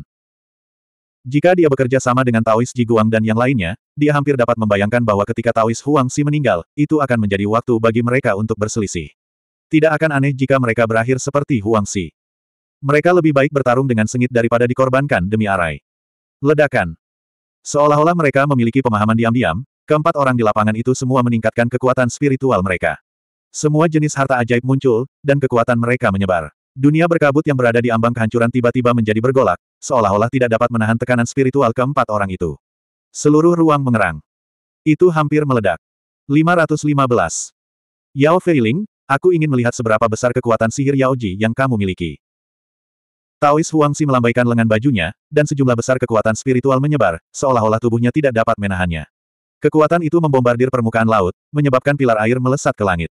Itu seperti pendahuluan, menghancurkan atmosfer yang stagnan. Ah! Taois Huangxi meraung dengan suara rendah. Dia tidak mengeluarkan harta sihir apa pun, juga tidak menggunakan kekuatan sihir apa pun. Cahaya merah menyala muncul dari tubuhnya, seolah-olah akan menembus lubang di langit. Pada saat yang sama, rambut putihnya berangsur-angsur berubah menjadi merah. Dari rambut hingga alisnya, dia tampak seperti api yang menyala dari jauh. Hem. Dia akhirnya menunjukkan kekuatan aslinya. Ekspresi Zhang Fan membeku. Dia belum benar-benar bergerak, tetapi aura Daois Huangxi telah mencapai puncaknya. Seolah-olah dia bisa menembus penghalang kapan saja dan memasuki tahap Nas Chen Sol. Ada yang tidak beres dengannya. Suara tauku terdengar di benaknya pada saat yang tepat. Suaranya penuh dengan keseriusan. Jelas, perubahan pada Taois Huangxi telah menarik perhatiannya. Sepertinya ada yang salah. Zhang Fan mengangguk dalam hati, terutama saat kemampuan ilahi Taois Yellow Si meledak. Rambutnya yang diwarnai darah bagaikan kekuatan dahsyat yang tidak dapat ditahan tubuhnya, dan itu terwujud di luar. Melihat rambut merah itu, raut wajah Yao Feiling tiba-tiba berubah, seolah-olah dia telah melihat sesuatu yang mengejutkan. Kemudian, dia tenggelam dalam kobaran api ungu yang memenuhi langit, dan tidak terlihat lagi. Ledakan. Dia tidak tahu apakah ini pertama kalinya Yao Feiling menggunakan kekuatan penuhnya, tetapi ini adalah pertama kalinya Zhang Fan melihatnya bergerak. Ekspresinya langsung berubah. Api ungu yang mengerikan itu membakar dengan ganas. Meskipun kekuatan Ling Yun tidak dapat dibandingkan dengan api surgawi ungu yang sebenarnya, itu sama sekali tidak kalah dengan kekuatan magis Taois Huangxi. Satu ungu dan satu merah, dua api itu saling terkait dan saling tolak. Mereka melesat ke langit dan meledak. Seluruh ruang tampaknya tidak mampu menahan kekuatan gabungan keduanya, dan riak-riak yang tak terhitung jumlahnya muncul. Keduanya bahkan belum bertarung sungguhan, tetapi pertarungan Ki dan api sudah cukup mengejutkan. Puncak level penyelesaian tidak lebih dari ini. Satu berwarna ungu dan satu lagi merah, dua bola api itu tampaknya menghubungkan langit dan bumi. Mereka naik ke cakrawala dan jatuh ke laut biru. Tidak diketahui apakah cakrawala benar-benar terbakar, tetapi air laut di bawahnya telah mengalami perubahan yang mengguncang bumi. Api berkobar tak terkendali di air laut. Sebelum air laut yang sangat banyak itu sempat melampiaskan amarahnya, air laut itu berubah menjadi kabut uap air yang tak terbatas yang memenuhi langit, menutupi kedua api dan kedua sosok itu. Di tengah awan dan kabut tebal, suara gemuruh terus-menerus terdengar. Dari waktu ke waktu, api yang mengerikan akan menyala seperti meteor dari luar angkasa. Ketika mendarat di permukaan laut, mereka akan membentuk gelombang besar dan kabut tebal. Berpura-pura. Meskipun mereka tidak dapat melihat dengan jelas dari luar, siapa pun yang memiliki mata dan telinga dapat membayangkan situasi pertempuran yang intens di dalam. Kekuatan Taois Huangxi dan kekuatan-kekuatan gaibnya jelas jauh melampaui harapan Taois Ji Guang. Kecemasan tiba-tiba muncul di wajahnya. Dia tidak dapat menahannya lebih lama lagi. Aura di sekitar tubuhnya meroket, dan segel tembaga persegi tiba-tiba muncul di atas kepalanya. Sebelumnya, saat ia marah pada Taois Huangxi, Taois Ji Guang telah menggunakan harta karun ini. Sekarang setelah harta karun itu muncul lagi, kekuatannya terlihat jelas. Pergi. Taois Guang menunjuk ke tengah kabut dan berteriak keras. Suara ini sepertinya mengandung semacam misteri. Tepat saat suara itu muncul, segel besar di langit berubah. Ia berputar, dan dalam sekejap, bayangan besar menyelimutinya. Segel tembaga yang awalnya kecil dan indah itu mengembang berkali-kali lipat dalam sekejap. Kekuatannya begitu kuat sehingga sebelum bergerak, cekungan persegi yang dalam terbentuk di permukaan laut di bawahnya. Segel ini disebut segel pembalik bumi. Segel ini merupakan versi lengkap dari segel pengunci langit dan juga merupakan harta karun khusus milik Daois Jiguang. Pada saat ini, segel ini dilepaskan dengan kekuatan penuh. Kekuatannya mencengangkan, dan tidak kalah dengan dua sosok yang menyala-nyala dalam kabut tebal di atas. Tanah, air, angin, api. Membekukan. Di bawah kekuatan mengerikan dari Earth Overturning Cell, angin menderu dan ombak bergulung-gulung. Sosok Daois Jiguang hampir tidak terlihat. Hanya suaranya yang menembus segalanya. Ledakan. Segel pembalik bumi yang berputar di langit tiba-tiba berhenti. Riak-riak tak terlihat dipancarkan, dan seperti telapak tangan yang lembut namun kuat, mereka menekan semua riak. Deburan ombak laut pun sirna. Deru angin pun sirna. Belum lagi kabut air yang memenuhi langit. Di bawah segel pembalikan bumi, kabut tebal yang terbentuk oleh konfrontasi antara Taois Huangxi dan kekuatan magis Yao Feiling langsung menghilang, memperlihatkan dua sosok, satu merah dan satu ungu, yang tiba-tiba datang dan pergi. Pada saat ini, wajah Daois Ji Guang menunjukkan sedikit kegembiraan. Dia tiba-tiba mengangkat telapak tangannya tinggi-tinggi dan menekannya ke bawah dari jauh. Gulingkanlah langit dan bumi. Jatuh. Suara tua itu seakan membawa serta otoritas yang tak terbatas. Di bawah kekuatan yang luar biasa, langit tiba-tiba menjadi gelap. Earth Overturning Cell bagaikan gunung yang menekan ke bawah, runtuh dengan gemuruh yang keras. Sasarannya adalah sosok yang mengejar api ungu itu. Di bawah bayangan yang tiba-tiba muncul, di tengah tekanan yang sangat besar, ekspresi Taois Huang Si tidak berubah. Gerakannya tidak berubah, seolah-olah dia tidak menyadari semua ini. Serangan segel pembalik bumi ini tidak kurang dari gunung sungguhan yang menjulang tinggi dan runtuh. Jika seseorang tidak menggunakan kekuatan magis untuk menahannya, tidak peduli seberapa kuat seorang ahli, bagaimana tubuh daging dan darahnya dapat menahan serangan ini. Melihat Huang Si begitu ceroboh, kegembiraan di wajah Daois Ji Guang semakin dalam. Tepat pada saat ini, situasinya berubah.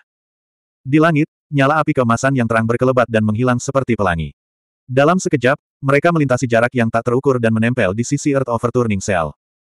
Ini. Kegembiraan di wajah Daois Ji Guang tidak hilang. Tatapannya membeku, dan dia melihat apa yang terjadi selanjutnya.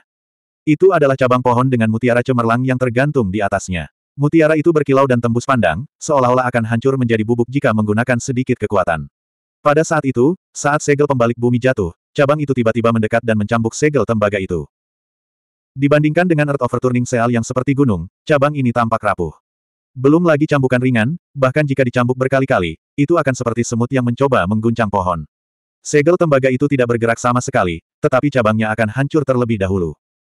Tanpa diduga, hasilnya sangat berbeda dari apa yang dibayangkannya. Saat dahan itu mencambuk segel pembalik bumi, nyala api kemasan yang terang tiba-tiba menyebar dari dahan itu, berubah menjadi cahaya kemasan dan menembus ke dalam segel. Ekspresi Taois Jiguang berubah dalam sekejap. Kali ini, bagai cambuk di dunia fana. Kelihatannya lembut, tetapi saat mengenai tubuh, rasa sakitnya langsung menusuk tulang. Kini, Taois Jiguang juga punya perasaan ini. Dalam sekejap mata, segel pembalik bumi tiba-tiba terbalik, dan momentumnya yang stabil seperti gunung Tai tiba-tiba berubah. Ia terbalik dan meninggalkan jauh di atas pertempuran antara Yao Feiling dan Taois Huangxi. Seperti seorang pemabuk, ia menabrak laut dengan keras. Ledakan. Dalam sekejap, langit dipenuhi dengan air laut yang berkilauan dan kabut yang pekat. Kabut memenuhi pandangan dan mendominasi dunia. Selain air laut dan awan, tidak ada yang bisa dilihat. Saat Earth Overturning Cell jatuh, air laut yang tak berujung itu langsung dipindahkan ke posisi yang berbeda. Air laut itu dipaksa keluar dari laut, dan di langit, kabut menjadi sangat jernih. Ha! Mereka berteriak serempak, mengguncang langit dan bumi. Kabut di langit, dengan sumber kedua teriakan itu sebagai pusatnya, saling bertabrakan, musnah, dan berhamburan ke segala arah. Permukaan laut langsung menjadi cerah, dan pusaran air raksasa muncul di hadapan Taois Jiguang. Reaksi dari harta karun Dharma Natal sangat luar biasa. Dalam sekejap, dia tahu bahwa pusat pusaran air itu adalah harta karun Dharma Natalnya, segel pembalik bumi. Di permukaan pusaran air yang mengerikan ini, yang tampaknya ingin menelan seluruh dunia, nyala api kemasan yang menyilaukan seukuran kacang menyebar ke mana-mana. Mereka seperti lampu emas yang tak terhitung jumlahnya yang mengambang di laut, menerangi segalanya. Zhang Fan, kamu. Taois Jiguang tiba-tiba menoleh dan melihat ke sumber teriakan sebelumnya. Di sana, Zhang Fan meletakkan satu tangan di belakang punggungnya, dan tangan lainnya sedang bermain dengan ranting pohon yang berwarna cerah. Wajahnya penuh dengan senyum ramah. Tidak mungkin untuk mengatakan bahwa dialah yang telah menggunakan ranting pohon di tangannya untuk menyerang Taois Jiguang. Meskipun dia tidak dapat melihat akar cabang tersebut, Daois Jiguang tidak berani ceroboh. Pandangannya tidak pernah meninggalkannya, seolah-olah dia bertanya-tanya bagaimana cabang sekecil itu dapat langsung meletus dengan kekuatan yang begitu besar. Terbuat dari apakah sebenarnya cabang itu sehingga dapat menahan kekuatan seperti itu? Adegan tadi terjadi dalam sekejap mata, tetapi terputar ulang dalam pikiran Taois Aurora Polaris berkali-kali.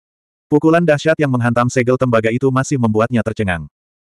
Pada saat itu, api emas yang jumlahnya hampir tak terukur mengikuti kekuatan cambuk dan dituangkan ke pusat Earth Overturning Cell. Itu juga api yang muncul di permukaan laut dan tidak padam untuk waktu yang lama. Jika bukan itu yang terjadi, bagaimana mungkin dia memutuskan hubungan antara dirinya dan harta dharma natalnya dan melemparkannya ke laut? Apa nama harta karun ini? Melihat Zhang Fan bertekad untuk campur tangan, Daois Jiguang akhirnya bersikap seperti seorang kultivator core formation puncak. Dia tidak mengganggunya lagi dan mengganti topik pembicaraan untuk menanyakan tentang harta karun yang membuatnya menderita kerugian, tetapi dia tidak dapat melihatnya. Harta karun ini disebut sembilan cahaya bertengger di matahari. Saya sendiri yang menyempurnakannya, dan saya baru saja akan meminta bimbingan dari Anda, Grandmaster. Menghadapi pertempuran yang sesungguhnya, Zhang Fan menyingkirkan semua rasa hina yang dimilikinya terhadap Daois Ji Guang dan sepenuhnya menganggapnya sebagai musuh besar. Senyum di wajahnya tidak berubah, tetapi perhatiannya tidak pernah lepas dari Daois Ji Guang. Harta karun yang bagus. Daois Jiguang mengangguk acuh tak acuh. Dengan lambaian tangannya, Earth Overturning Cell berubah menjadi sinar cahaya keemasan dan jatuh kembali ke tangannya. Ketika benda itu muncul dari laut, ukurannya masih sebesar gunung. Ketika benda itu sampai kepadanya, ukurannya sekecil harta karun di telapak tangan. Perubahannya alami, dan tidak ada sedikit pun jejak asap atau api. Tidak diragukan lagi, hal itu menunjukkan kehalusan harta karun dan kendali Daois Jiguang.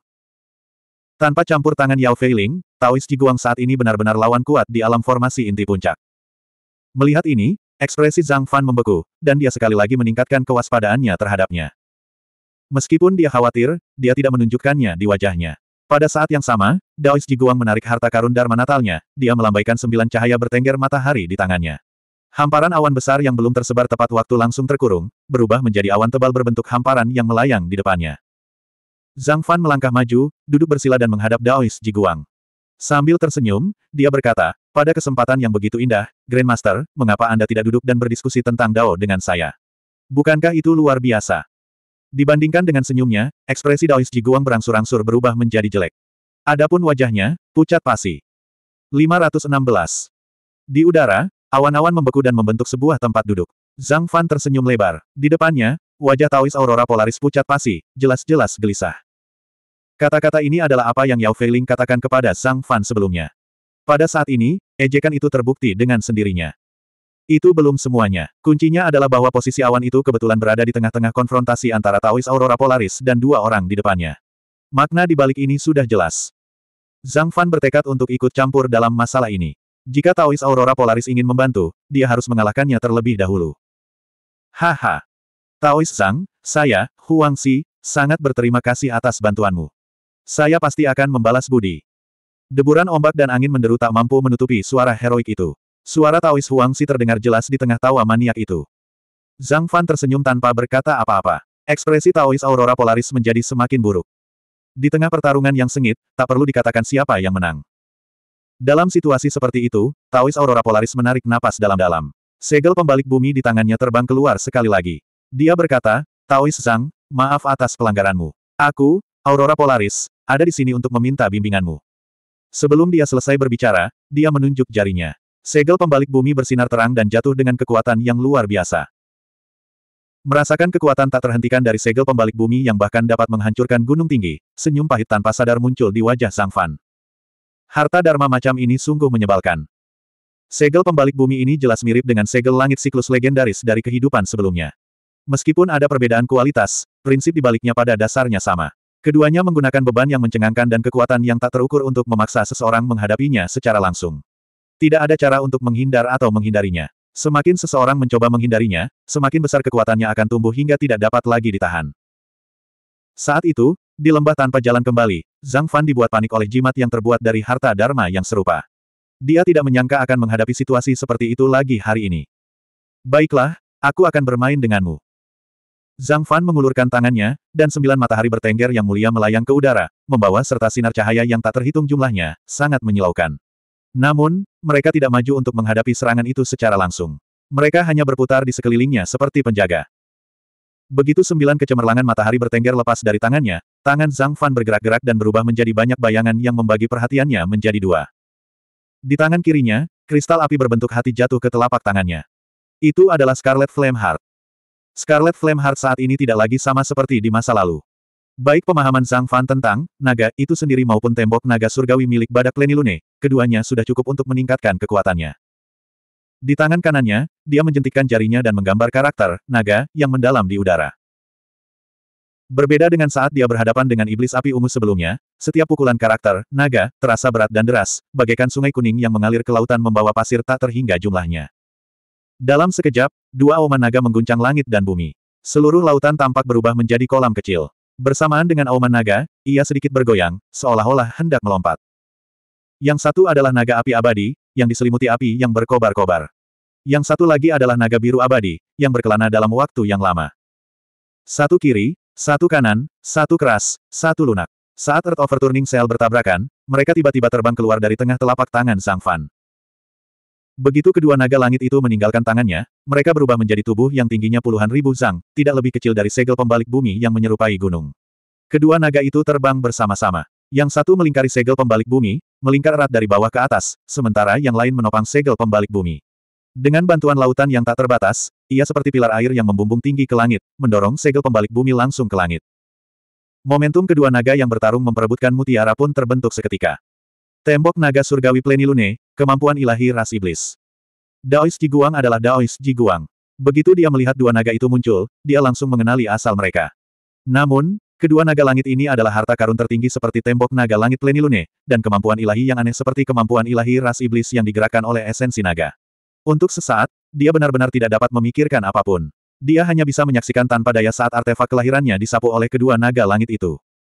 Bagus, bagus. Orang tua ini ingin melihat trik apa lagi yang bisa kamu gunakan. Setelah beberapa saat, Daois Jiguang akhirnya mengalihkan pandangannya dari langit. Karena dia tidak dapat memikirkan apa pun saat ini, dia mungkin juga menyerang pengguna kemampuan ilahi, Zhang Fan. Setelah resmi bertukar pukulan, Daois Jiguang semakin memiliki aura seorang ahli.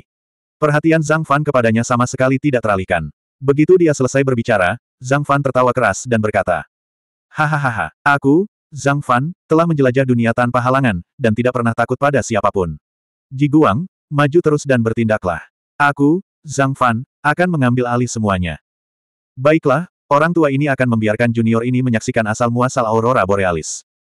Daois Ji Guang sangat marah sehingga dia malah tertawa. Di kehampaan, dia duduk bersila, dan ki harta karun yang memenuhi langit menyebar dari tubuhnya yang sedikit kurus dan lemah. Seolah-olah dalam sekejap, dia telah menjadi harta karun berbentuk manusia.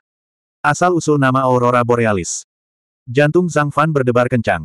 Sebelumnya, dia sepertinya pernah mendengar Taois Huangxi menyebutkan bahwa Taois Jiguang ini telah mewarisi jubah busur giok laut awan Jinjue. Nama Aurora Borealis sebenarnya adalah kemampuan ilahi pembentukan jiwa Jinjue. Mungkinkah dia juga bisa menggunakan kemampuan ilahi pembentukan jiwa? Tentu saja ini tidak mungkin. Belum lagi Daois Jiguang hanyalah seorang kultivator di puncak alam Core Formation. Bahkan jika ia telah maju ke alam Naschen Soul, ia masih akan jauh berbeda dari kemampuan ilahi Soul Formation. Tepat saat Zhang Fan memusatkan perhatiannya dan mengumpulkan semua kekuatan spiritual di tubuhnya untuk berjaga-jaga terhadap segala hal yang tidak diinginkan, mata Daois Ji Guang tiba-tiba menyala. Kemudian, seolah-olah semua pori-pori di tubuhnya telah menjadi sumber cahaya. Ribuan sinar cahaya melesat keluar, seolah-olah itu adalah benda nyata. Hem. Zhang Fan menyipitkan matanya sedikit. Dalam sekejap mata, lebih dari sepuluh sinar cahaya berharga melesat keluar dari atas kepala Daois Jiguang dan melayang di udara. Ini. Meskipun cahaya di langit menyilaukan, dia masih tidak dapat melihat dengan jelas bahwa di dalam cahaya yang berharga itu, ada 18 orang perunggu yang tampaknya terbuat dari emas dan tembaga. Cahaya pada mereka bersinar, dan jelas bahwa mereka adalah harta karun yang langka. Tepat saat 18 pria perunggu ini muncul di hadapan Zhang Fan, hawa dingin menyelimuti tubuhnya. Pada saat yang sama, perasaan berdebar-debar muncul tanpa alasan. Tidak bagus. Dalam benaknya, seruan Taoisku tiba-tiba muncul. Kemudian, Zhang Fan juga menemukan di mana letak masalahnya. Dalam sekejap, ruang tempat 18 orang perunggu itu tiba-tiba kabur, seolah-olah posisi dan gerakan mereka memiliki makna khusus. Delapan belas sinar cahaya menyilaukan berkelap-kelip, dan pada akhirnya, berubah menjadi kabut, dan sosok delapan belas orang perunggu itu tidak dapat terlihat lagi. Yang menggantikannya adalah dunia yang diselimuti awan dan kabut. Lautan awan di langit berguncang karena angin, dan awan-awan putih itu bagaikan anjing, berubah-ubah tak terduga. Angin bertiup, awan dan kabut berubah, dan busur giok pun muncul. Awan yang menutupi langit berubah menjadi latar belakang busur giok, meningkatkan kekuatannya beberapa kali lipat. Seperti raksasa yang gigih menarik busur dan anak panah. Seberkas cahaya berubah menjadi anak panah, dan di ujung anak panah itu, tiba-tiba muncul cahaya dingin. Oh tidak! Serangan Cloud Si Jadebo, cahayanya menembus langit dan bumi. Kekuatan ilahi pembentukan jiwanya tidak dapat menghindarinya, dan mengandalkan kecepatan dan kekuatan cahaya. Sungguh kuat. Kata-kata Taois Huangsi tiba-tiba muncul di benaknya. Anak panah yang bersinar itu jelas adalah busur giok laut awan yang disebutkan oleh Taois Huangsi. Cahayanya menembus langit dan bumi. Kaki. Karena tidak ada cara menghindarinya, maka saya tidak akan melakukannya. Zhang Fan membentuk pedang dengan jarinya dan menekannya di antara kedua alisnya. Inti emas tiba-tiba menyusut, dan kekuatan spiritual di tubuhnya langsung mendidih. Ledakan. Kekuatan guntur tak terlukiskan, bahkan kilat pun tak dapat lebih cepat darinya. Ketika Zhang Fan menekan di antara kedua alisnya, panah cahaya itu berkedip dan menghilang. Ketika muncul kembali di depannya, panah itu hanya berjarak satu inci dari menusuk alisnya. Ketajaman dan dinginnya bahkan memotong rambut di antara kedua alisnya. Sampai saat itu, suara siulan anak panah yang menembus udara terdengar dari belakangnya. Ruang tempat anak panah itu melewatinya dikelilingi oleh lapisan riak, seolah-olah gelang yang terbuat dari awan diletakkan di atas bayangan anak panah, melipat gandakan kekuatan yang mengerikan itu. Dalam sekejap, tanggapan Zhang Fan akhirnya membuahkan hasil.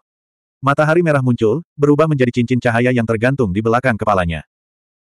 Untuk sementara waktu, Zhang Fan yang sedang duduk bersila, tampak telah berubah menjadi matahari agung, dan keagungannya yang tak tergoyahkan pun terungkap. Cahaya matahari agung, yang padat seperti bola cahaya putih keemasan, mengembang, dan bertabrakan dengan panah aurora yang berjarak satu inci dari alisnya. Corona. Kali ini, Corona diaktifkan sepenuhnya. Itu adalah pertarungan antara titik dan permukaan, pertarungan antara ketajaman dan ketebalan. Dalam sekejap, roda matahari besar berubah menjadi bola cahaya yang lebarnya ratusan kaki. Di depannya, ada depresi yang dalam, di situlah panah aurora berada. Yang terbaik, yang terbaik. Suara keruntuhan datang dari pusat bola cahaya, seolah-olah Sutrasu sedang terkoyak dan langit serta bumi sedang terkoyak. Setelah melepaskan serangan yang menggemparkan ini, 18 manusia perunggu langsung menghilang dan kembali ke tubuh Daois Jiguang. Jiwa Daois Jiguang tiba-tiba bergetar saat dia melihat ke arah pusat bola cahaya. Dia terkejut karena Zhang Fan bisa langsung meledak dengan pertahanan yang begitu mengejutkan. Sekarang keduanya terkunci dalam kebuntuan, itu adalah momen hidup dan mati. Secara bertahap, sebuah ledakan terdengar. Wajah Taois Jiguang langsung menunjukkan sedikit kegembiraan, tetapi dalam sekejap mata, kegembiraan ini membeku di wajahnya. Di bawah tatapannya yang tidak percaya, depresi dalam cahaya putih kemasan itu langsung menghilang tanpa jejak. Kemudian, bola cahaya itu menyusut dan berubah menjadi lingkaran cahaya, tergantung di belakang kepala seseorang. Zhang Fan. Zhang Fan, yang muncul di hadapan Daois Jiguang, perlahan berdiri. Tatapan mereka bertemu, dan kesombongan di matanya bahkan lebih mencolok dan tak tertahankan daripada lingkaran cahaya yang menyilaukan. Di bawah lingkaran cahaya di belakang kepalanya, Zhang Fan yang berdiri dan tampak seperti dewa yang turun ke dunia, berteriak dengan dingin, tidak sopan jika tidak membalas. Taois Jiguang, terimalah serangan dariku juga. Jika bukan karena reaksinya yang cepat dan korona dunia, dia pasti sudah mati seketika karena anak panah yang ditembakkan oleh Daois Jiguang tadi. Bahkan dengan kelicikan Zhang Fan, dia tidak bisa menahan diri untuk tidak terkejut. Bagaimana mungkin dia tidak membalas? Sebelum dia selesai berbicara, suara burung gagak bergema menembus awan dan langsung naik ke sembilan langit. Sembilan matahari yang bertengger di sembilan matahari tiba-tiba melambai, dan sembilan matahari melayang di langit. Burung gagak emas menari, dan nyala api kemasan matahari meledak keluar dari pohon fusang, berubah menjadi semburan pelangi emas yang merusak. Dengan momentum menembus matahari, ia bergegas menuju Taois Jiguang. 517. Pelangi emas, api nirwana, dan cahaya matahari menyatu menjadi aliran deras yang dahsyat.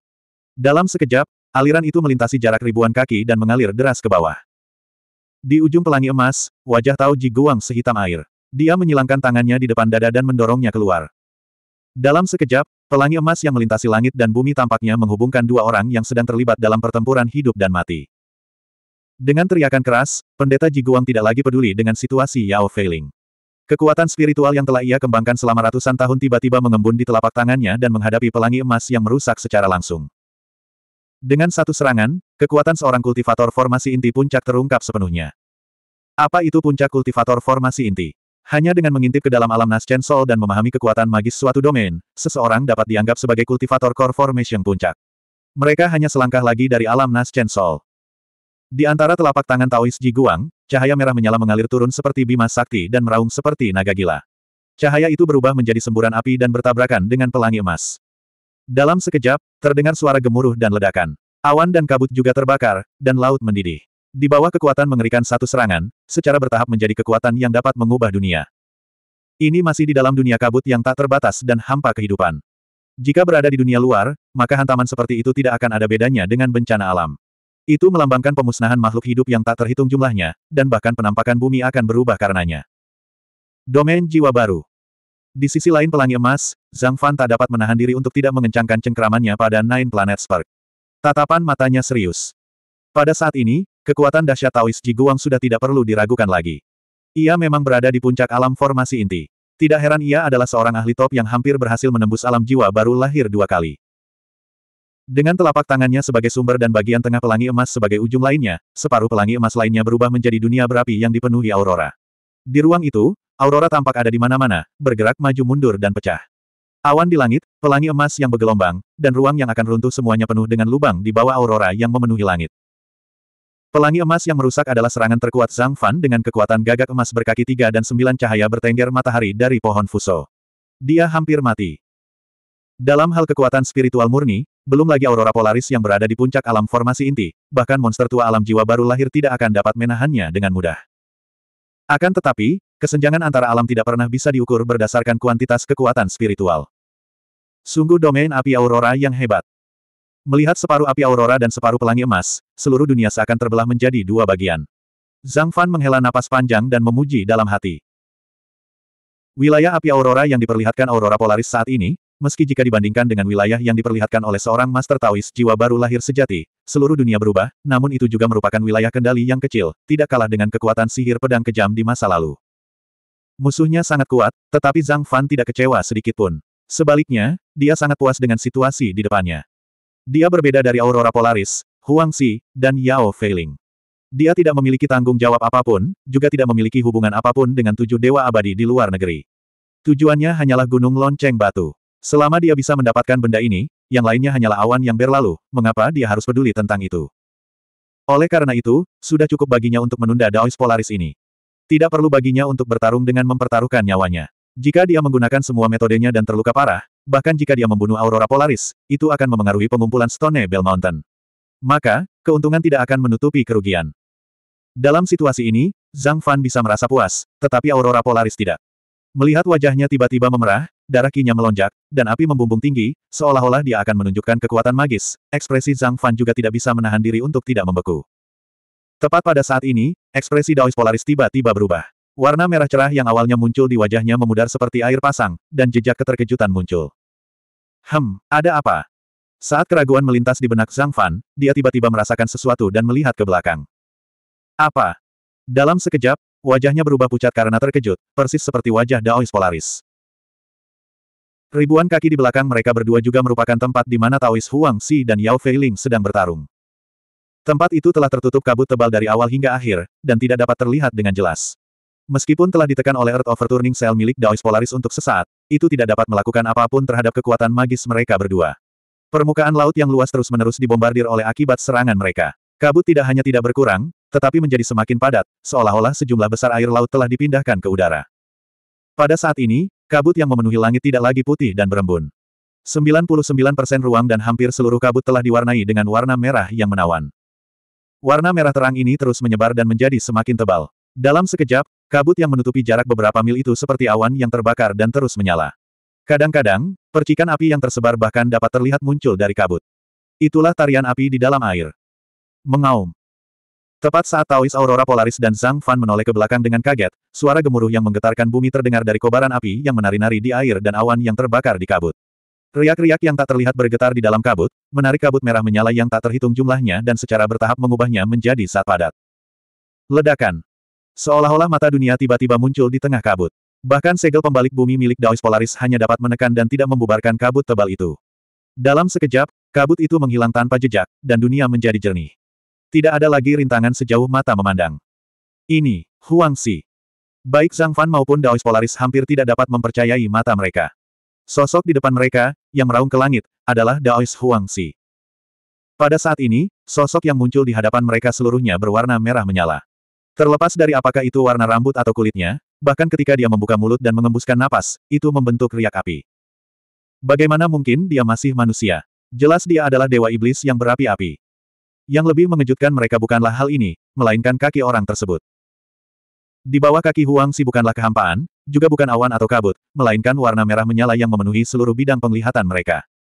Ekspresi Zhang Fan tiba-tiba berubah serius. Ia melihat ke kejauhan dan melihat bahwa di bawah kaki Taois Huang Si, api tampak telah terkompresi secara ekstrim, berubah menjadi cairan padat yang mengalir perlahan. Jika tidak menggelembung, itu adalah api yang mengamuk yang membumbung ke langit. Transformasi api menjadi cairan ini tidak seperti magma yang terbentuk dari campuran tanah dan batu. Sebaliknya, itu adalah api paling murni yang telah disempurnakan hingga tingkat ekstrim. Sekalipun api biasa dijadikan pondasinya, lautan api yang terbentuk sedemikian rupa itu dapat meletus dengan kekuatan yang tidak kalah dengan api surgawi. Domain api. Keheranan di mata Zhang Fan tidak bisa lagi disembunyikan. Dibandingkan dengan Huang Xi, kekuatan yang ditunjukkan oleh Taois Aurora Polaris tadi berada pada level yang sama sekali berbeda. Kekuatan semacam ini yang mencakup segalanya dan dapat mengubah segalanya di dunia dalam sekejap mata untuk membentuk domain keilahiannya sendiri adalah sesuatu yang hanya pernah disaksikan Zhang Fan sekali dari Taoisku. Ini adalah domain kemampuan ilahi jiwa baru lahir yang sesungguhnya. Huang Xi, apakah dia seorang jiwa baru lahir yang sempurna? Bagaimana itu mungkin? Nak, itu belum semuanya. Perhatikan baik-baik dan berhati-hatilah. Suara Daoisku terdengar. Dia tidak menyangkal dugaannya. Sebaliknya, Keseriusan dalam suaranya tampak mengandung makna, mengungkapkan kegugupan di hatinya. Begitu dia selesai berbicara, pemandangan mengejutkan terjadi di belakang Taois Huangxi. Raungan itu berhenti dan Taois Huangxi menundukkan kepalanya. Di belakangnya, api yang tak terbatas meledak. Kekuatan api murni terkondensasi dan berubah menjadi bayangan ilusi raksasa yang menghubungkan langit dan bumi. Bayangan ilusi raksasa itu menghubungkan langit dan bumi. Seolah-olah saat ia mengangkat kepalanya, itu akan menjadi puncak surga. Dalam sekejap, ia memenuhi seluruh bidang penglihatan Sang Fan. Saat api berkumpul dan kekuatan spiritual memadat, gambaran ilusi raksasa api berangsur-angsur menjadi jelas. Rambutnya, yang tampak seperti ditenun dari api, diikat dalam kepang-kepang kecil yang tak terhitung jumlahnya. Rambutnya menjulang ke langit, seolah-olah ada angin kencang yang bertiup menerpa wajahnya. Seluruh tubuhnya berwarna perunggu, dengan semburat kemerahan. Dia tampak seperti raksasa yang terbuat dari tembaga dan besi, dan terbakar panas ketika diletakkan di atas api. Jika itu adalah gambaran ilusi yang terbentuk dari kekuatan spiritual dan api biasa, tentu saja itu bukan apa-apa. Zhang Fan tidak akan mempedulikannya. Namun, yang ada di depannya sama sekali berbeda. Tubuh asli Taois Huangxi menundukkan kepalanya dan tidak bergerak sama sekali. Jika bukan karena auranya yang masih ada, orang tidak akan melihatnya sebagai orang yang hidup. Gambaran ilusi itu adalah kebalikannya. Alis yang terbentuk dari api itu sangat hidup. Wajahnya yang dipahat memiliki pesonanya sendiri. Saat melihat sekelilingnya, orang bahkan bisa merasakan kesedihan dari matanya. Seolah-olah telah disegel selama bertahun-tahun yang tak terhitung jumlahnya dan akhirnya melihat cahaya matahari lagi. Menatap raksasa api yang berdiri gagah di antara langit dan bumi, merasakan keganasan yang seakan-akan ingin membuat lubang di langit dan bumi, sebuah pikiran tiba-tiba muncul di benak Sang Fan. Dia adalah Dewa Api, Hubilai. Bukankah roh primordialnya runtuh dan dia mati? Pada mulanya itu merupakan ide yang tidak masuk akal, tetapi setelah dipikir-pikir lagi, itu menjadi semakin masuk akal. Jika bukan karena Dewa Api, Taois Huangxi tidak akan mengetahui begitu banyak rahasia tentang tujuh dewa. Apa yang dia katakan sebelumnya dapat dikatakan berasal dari asal yang sama. Kemungkinan besar, Pulau Kabut tersembunyi, Istana Api Langit, dan bahkan Taois Aurora Polaris akan tahu banyak. Namun, pada saat-saat terakhir, pertanyaan Huangxi kepada Yao Feiling sama sekali berbeda. Jika dia tidak ada di sana secara langsung, dia tidak akan dapat mengetahui segalanya. Seperti yang dikatakan Yao Feiling, dengan status Huangxi, bagaimana dia bisa mengetahui hal-hal ini? Jika itu adalah Dewa Api, maka semuanya akan masuk akal. Runtuhnya roh primordial Dewa Api mungkin benar. Orang-orang di Istana Api Langit pasti tahu tentang ini. Namun, kematian total roh primordial adalah cerita sepihak dari Taois Huangxi. Dewa Api, itu benar-benar kau. Tepat saat Zhang Fan tengah menebak-nebak dan perlahan-lahan sampai pada suatu kesimpulan, sebuah suara penuh kebencian tiba-tiba terdengar dari sudut lautan api yang tak terbatas. Ketika menoleh, dia melihat bahwa di alam dewa api yang tak terbatas, ada tanah suci kecil. Teratai emas tumbuh dari tanah dan bidadari menyebarkan bunga. Itu seperti surga. Ketika menoleh, dia tidak bisa menahan perasaan seolah-olah dia sedang melayang. Kamu tidak mati. Suara yang datang dari tanah suci itu terdengar familiar sekaligus asing. Namun, perasaan yang tak tertandingi indahnya itu mirip dengan milik Yao Feiling. Tepat pada saat ini, suara gemetar tiba-tiba terdengar dari belakangnya. Cheng Xuan, Cheng Xuan, apakah itu benar-benar kamu? Seorang pakar top di puncak tahap formasi inti begitu gembira hingga dia hampir tidak bisa mengendalikan dirinya. Cheng Xuan, Yao Cheng Xuan. Ekspresi Zhang Fan berubah saat dia melihat dengan terkejut. 518. Cheng Xuan, Yao Cheng Xuan. Ekspresi Zhang Fan berubah saat dia melihat dengan terkejut. Pendeta Tao Huang si sepertinya pernah samar-samar menyebut Yao Cheng Xuan sebelumnya, mengatakan bahwa dia seratus kali lebih cantik daripada Yao Feiling. Dia adalah tokoh berpengaruh di dunia kultivasi luar negeri saat itu, dan juga cinta sejati dan rasa sakit pendeta Tao Jiguang. Karena orang inilah dia berhenti maju ke tahap pembentukan inti dan tidak pernah memiliki kesempatan untuk mencapai tahap jiwa baru lahir.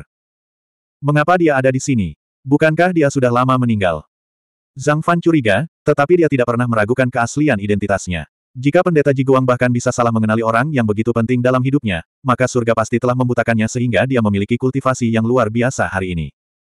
Tepat pada saat ini, ledakan keras mengguncang langit dan bumi. Pelangi emas dan aurora fire domain langsung runtuh. Energi spiritual yang kacau dan api yang ganas bagaikan meteor besar yang menghantam permukaan laut dengan keras. Sebelum memasuki laut, ia berubah menjadi pecahan yang tak terhitung jumlahnya seperti hujan meteor, indah dan mempesona. Hasil ini tentu saja disebabkan oleh Taois Jiguang yang secara bertahap mulai menguasai keadaan, tiba-tiba menjadi terganggu dan kehilangan kendali atas kekuatan gaibnya. Suara yang memekakan telinga itu terdengar di sampingnya, tetapi pendeta Ji Guang, yang secara pribadi menyebabkan semua ini, tampaknya tidak mendengarnya. Ekspresinya linglung saat dia berjalan melewati Zhang Fan selangkah demi selangkah, seolah-olah dia ingin langsung melangkah ke wilayah api yang tak terbatas. Hem. Telapak tangan Zhang Fan sedikit bergetar. Lingkaran spirit Qi muncul samar-samar, siap menyerang kapan saja. Saat ini, situasi Tao Ji Guang jelas tidak benar. Dia tampak linglung dan linglung. Jika dia menyerang sekarang, bukan tidak mungkin baginya untuk membunuh ahli top ini dengan satu pukulan. Namun, setelah ragu-ragu sejenak, Zhang Fan perlahan menarik telapak tangannya dan melepaskan kesempatan langkah ini. Tentu saja ini bukan karena dia berhati lembut atau karena dia sangat mementingkan kepahlawanan dan tidak memanfaatkan orang lain saat mereka dalam bahaya.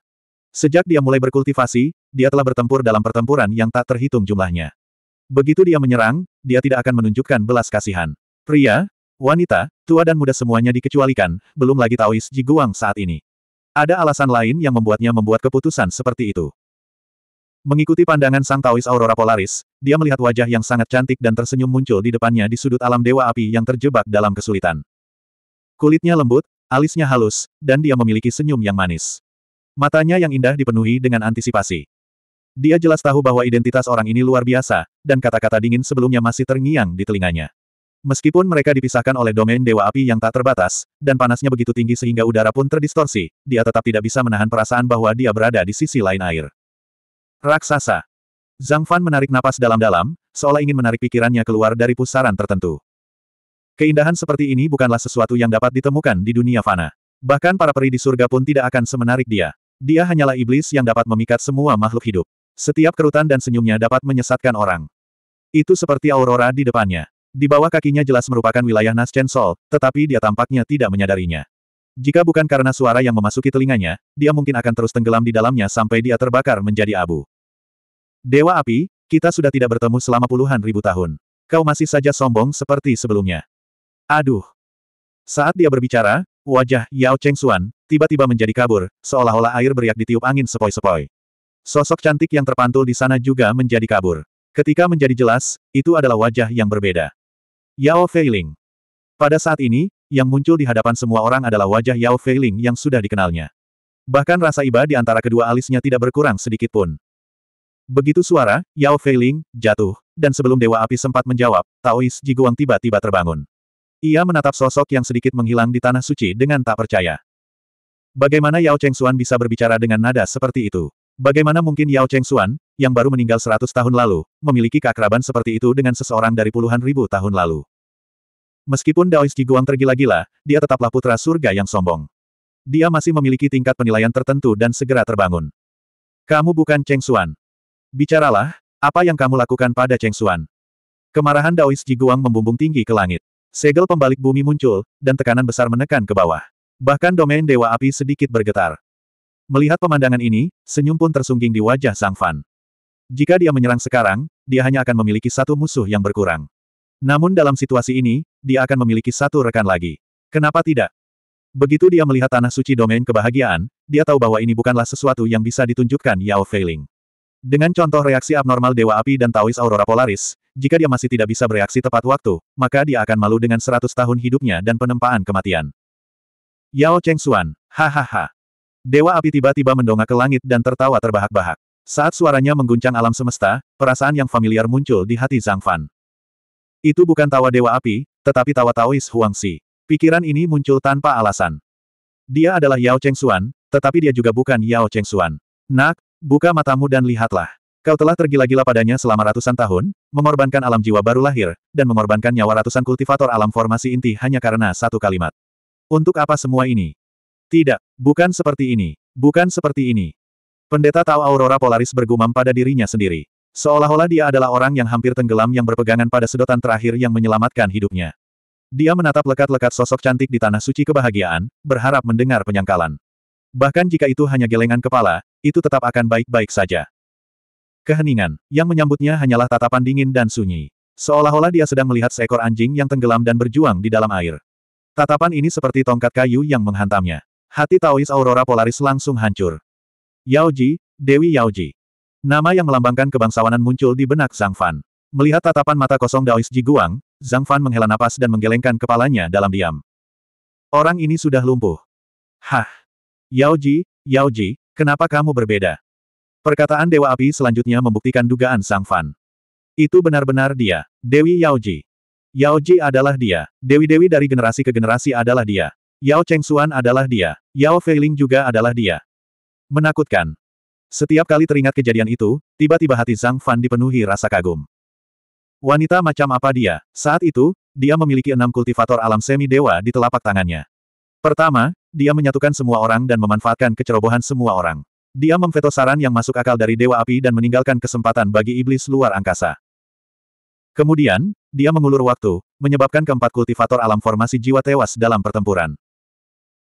Satu-satunya hal yang tidak dia duga adalah bahwa ketika keempat kultivator alam formasi jiwa itu mati, mereka akan menyebabkan kerusakan yang begitu besar pada iblis-iblis luar angkasa.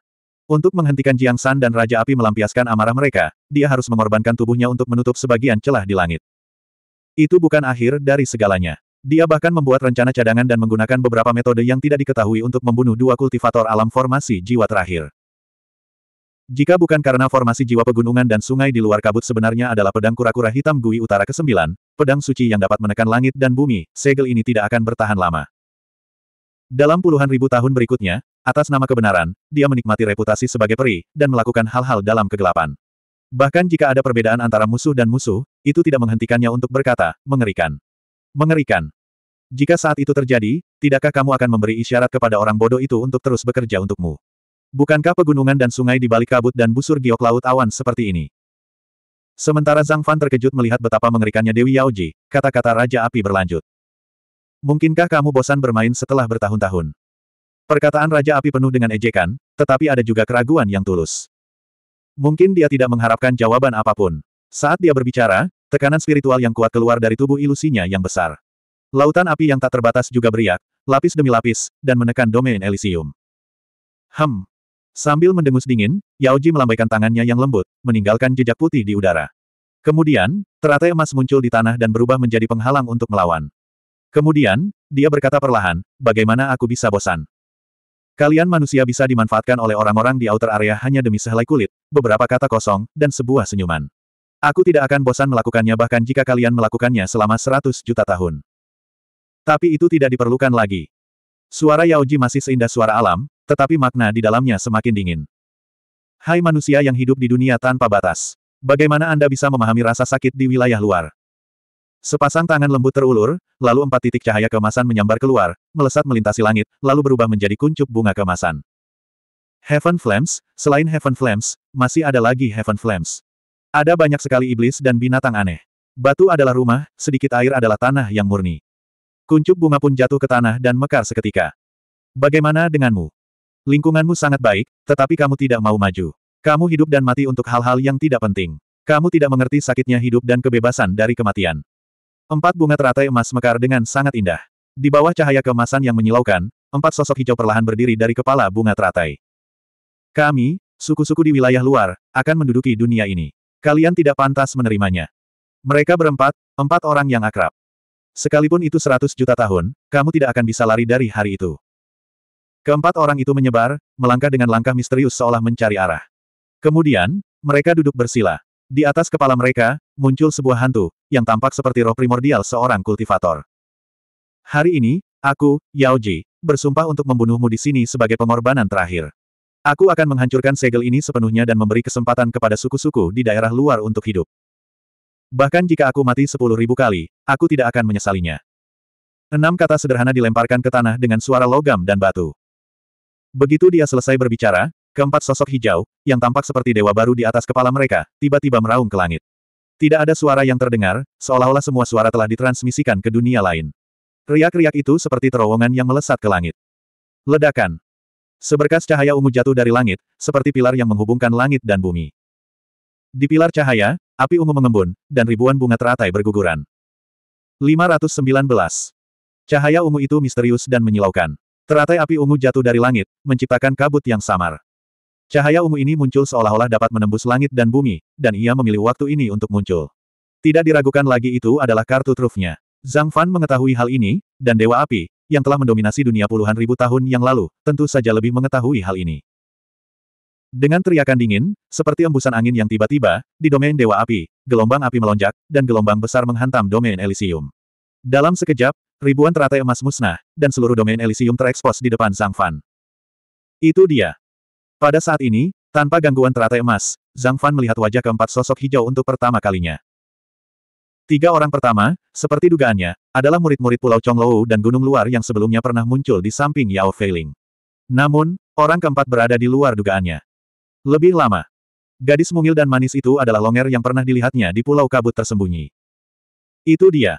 Zhang Fan diam-diam menggelengkan kepalanya. Meskipun dia tidak ada hubungannya dengan gadis itu, melihat gadis secantik itu jatuh ke dalam kondisi seperti itu, bahkan hati yang keras pun tidak bisa menahan diri untuk tidak mendesah. Pada saat ini, jika dia masih percaya pada teknik pergantian sumsum, -sum, maka sia-sia saja dia menjadi seorang kultivator abadi. Melihat situasi keempat orang ini, jelas bahwa itu adalah semacam mantra yang merasuki jiwa. Namun, bagaimanapun juga, itu adalah kekuatan magis dari wilayah luar, dan itu tidak tampak terlalu kuat, jadi itu tidak terlihat di luar. Baik itu Dewa Api atau dia, tidak satu pun dari mereka merasakan apa pun. Namun, pada saat ini, ketika teknik hebat itu digunakan, semuanya tidak diragukan lagi terungkap. Yang paling jelas adalah bahwa Longer sering menatapnya dengan tatapan aneh. Sejak saat dia muncul hingga sekarang, tatapan itu tidak pernah muncul lagi. Gambaran maya di atas kepala keempat orang tersebut, yang seperti roh primordial, merupakan bukti kerasukan jiwa. Teknik pengubahan sumsum -sum tulang apa? Itu jelas mantra untuk menguasai jiwa. Selama bertahun-tahun, berapa banyak orang yang Istana Api Langit menggunakan metode ini untuk mengendalikannya? Dewa Api tiba-tiba menjadi marah. Tubuhnya yang besar melangkah maju, dan dalam sekejap, bumi dan gunung berguncang, seolah-olah dunia akan runtuh. Tidak banyak. Jika ada roh di surga, suatu hari kamu akan melihatnya. Yao Ji terkekeh. Sosoknya berubah, dan kini tidak hanya Yao Feiling dan Yao Chengxuan. Pada saat yang sama, suaranya berubah, dan setiap kata berbeda. Itu seperti suara menggoda yang sunyi. Ledakan. Begitu suara Yao Ji menghilang, teratai api ungu berhamburan di langit. Dalam cahaya yang samar dan berbintik-bintik, sosok-sosok cantik yang tak terhitung jumlahnya muncul, bernyanyi dan menari di alam Elysium. 99. Dalam sekejap mata, Zhang Fan menyapu pandangannya dan melihat sosok-sosok cantik menari di domain tanah suci dengan jelas. Termasuk Yao Feiling dan Yao Chenxi, ada tepat 99 orang. 100 reinkarnasi, inkarnasi iblis surgawi. Hampir 100 suara Yaoji akhirnya menyatu menjadi satu, berubah menjadi suara magnetis yang dapat menggerakkan jiwa orang-orang. Suara itu lembut tetapi dalam, penuh kasih sayang, dan murni. Suara itu seperti suara terindah di dunia. Begitu memasuki telinga orang-orang, mereka hampir ingin menutup telinga mereka dan menyimpan suara surgawi ini selamanya. 99 sosok cantik ini rupanya adalah 99 reinkarnasi Yaoji yang menggunakan teknik rahasia penjelmaan iblis surgawi. Namun, mengapa dia menyebutnya 100 reinkarnasi? Begitu Zhang Fan ragu, Yaoji memberinya jawaban. Takdir, takdir. Surga itu tidak adil. Kalian manusia diuntungkan oleh surga dan bumi. Kalian secara alami memiliki nasib yang hebat. Jika tidak, seratus reinkarnasiku tidak akan kehilangan satu nyawa tanpa alasan, dan aku tidak akan kehilangan satu jiwa pun. Jika tidak, dengan inkarnasi iblis surgawi, aku bisa saja menghancurkan pengekangan langit dan bumi sendirian. Aku bisa saja membuka celah di langit untuk menyambut suku alienku ke dunia manusia. Untungnya, aku sudah menyiapkan dua cara. Selama aku bisa membunuhmu di sini, formasi pengorbanan akan cukup untuk membuka gerbang surga. Haha. Yaoji tertawa terbahak-bahak seolah-olah dia sudah gila. Mungkin karena kerja kerasnya selama puluhan ribu tahun, dia ingin berbicara dengan musuh-musuhnya sebelum mereka meninggal. Tanpa diminta Zhang Fan dan Dewa Api, dia menceritakan semuanya kepada mereka. Benar-benar lelucon. Nasib suku manusia kita berasal dari darah kaisar suci kita. Bagaimana mungkin itu tidak adil? Pendeta tahu itu mendengus jijik mendengar kata-kata Yaoji. Zhang Fan juga setuju dengannya, tetapi dia tidak ingin mengatakan lebih banyak lagi. Situasi di depan mereka telah berubah tanpa bisa dikenali. Tidaklah berlebihan untuk menggambarkannya sebagai kekacauan. Sementara Yaoji tertawa terbahak-bahak, sebuah mata air jernih muncul entah dari mana di wilayah Tanah Suci. Ribuan bunga teratai emas mekar dan menyebar dengan cepat. Seluruh wilayah tanah suci meluas, terus-menerus menempati ruang wilayah Dewa Api. Tidak bagus. Alasan mengapa Zhang Fan tidak panik setelah melihat kekuatan Yaoji adalah karena keberadaan Dewa Api. Sekarang, sepertinya setelah Yaoji menyerap kekuatan 99 nyawa, kekuatannya begitu kuat sehingga dia bisa melawan Dewa Api. Ini merepotkan. Mustahil bagi Dewa Api untuk tidak terluka di wilayah api ungu. Mungkin Taois Huangxi melebih-lebihkan ketika dia mengatakan bahwa roh primordialnya telah runtuh, tetapi itu seharusnya tidak jauh dari kebenaran. Kalau tidak, mengapa dia harus bersembunyi selama bertahun-tahun? Jika kebuntuan ini terus berlanjut, yang tidak bisa bertahan sudah pasti bukan Yaoji. Tentu saja, aku tidak bisa menaruh harapan pada orang lain. Zhang Fan tidak dapat menahan senyum pahit. Dia memusatkan perhatiannya dan melihat ke sekeliling. Niat terakhirnya untuk menonton pertunjukan akhirnya pudar. Dalam waktu singkat, situasi di langit berubah menjadi setengah lautan api dan setengah tanah suci teratai emas. Kedua belah pihak berimbang. Meskipun mereka berimbang, pertempuran itu tidak berlangsung lama. Jelas terlihat, alam Dewa Api mundur inci demi inci di bawah tekanan domain tanah suci kebahagiaan. Api yang berkobar sebelumnya juga tampak melemah. Dewa Api, kau menjadi sangat lemah. Sepertinya kamu benar-benar terluka parah saat itu. Setelah berjuang selama puluhan ribu tahun, kamu benar-benar melemah sampai sejauh ini. Memikirkan kembali kejayaanmu di masa lalu, itu benar-benar membuatku mendesah. Para bidadari menebarkan bunga, dan teratai emas melayang di udara. Di dalam setiap teratai emas, ada sosok yang tak tertandingi dan mempesona berdiri di atasnya, menari tanpa alas kaki. Di tengah tarian yang anggun, wilayah tanah suci perlahan-lahan menjadi lebih unggul. Yaoji berdiri di atas teratai emas tertinggi dan melihat ke bawah ke domain Dewa Api yang menyusut, serta sosok yang menjulang tinggi di dalamnya. Yaoji, jangan bicarakan tentang kakak kita. Kau telah bereinkarnasi seratus kali dan membelah roh primordialmu. Kau bahkan belum menggunakan kekuatan penuhmu. Seberapa hebat kau dibandingkan denganku? Meskipun menghadapi situasi seperti itu, Dewa Api tampak masih percaya diri. Semangat kepahlawanannya tidak luntur saat dia tertawa dan membalas. Tidak kusangka dua ahli alam transformasi ilahi akan berakhir seperti ini. Surga benar-benar membodohi kita. Melihat pemandangan ini, Sang Taois pertapa mendesah. Sekarang, selama ada ahli alam jiwa baru lahir yang lumayan datang, mereka akan mampu mengalahkan mereka berdua pada saat yang sama. Di masa lalu, mereka mendominasi dunia. Sekarang, mereka sangat menyedihkan. Ya. Zhang Fan mengangguk dan kemudian berkata, tapi itu masih masalah besar. Seperti yang dikatakan Dewa Api dan Yaoji, mereka memiliki penilaian yang sama dengan Taois pertapa. Setelah puluhan ribu tahun, mereka menjadi sangat lemah.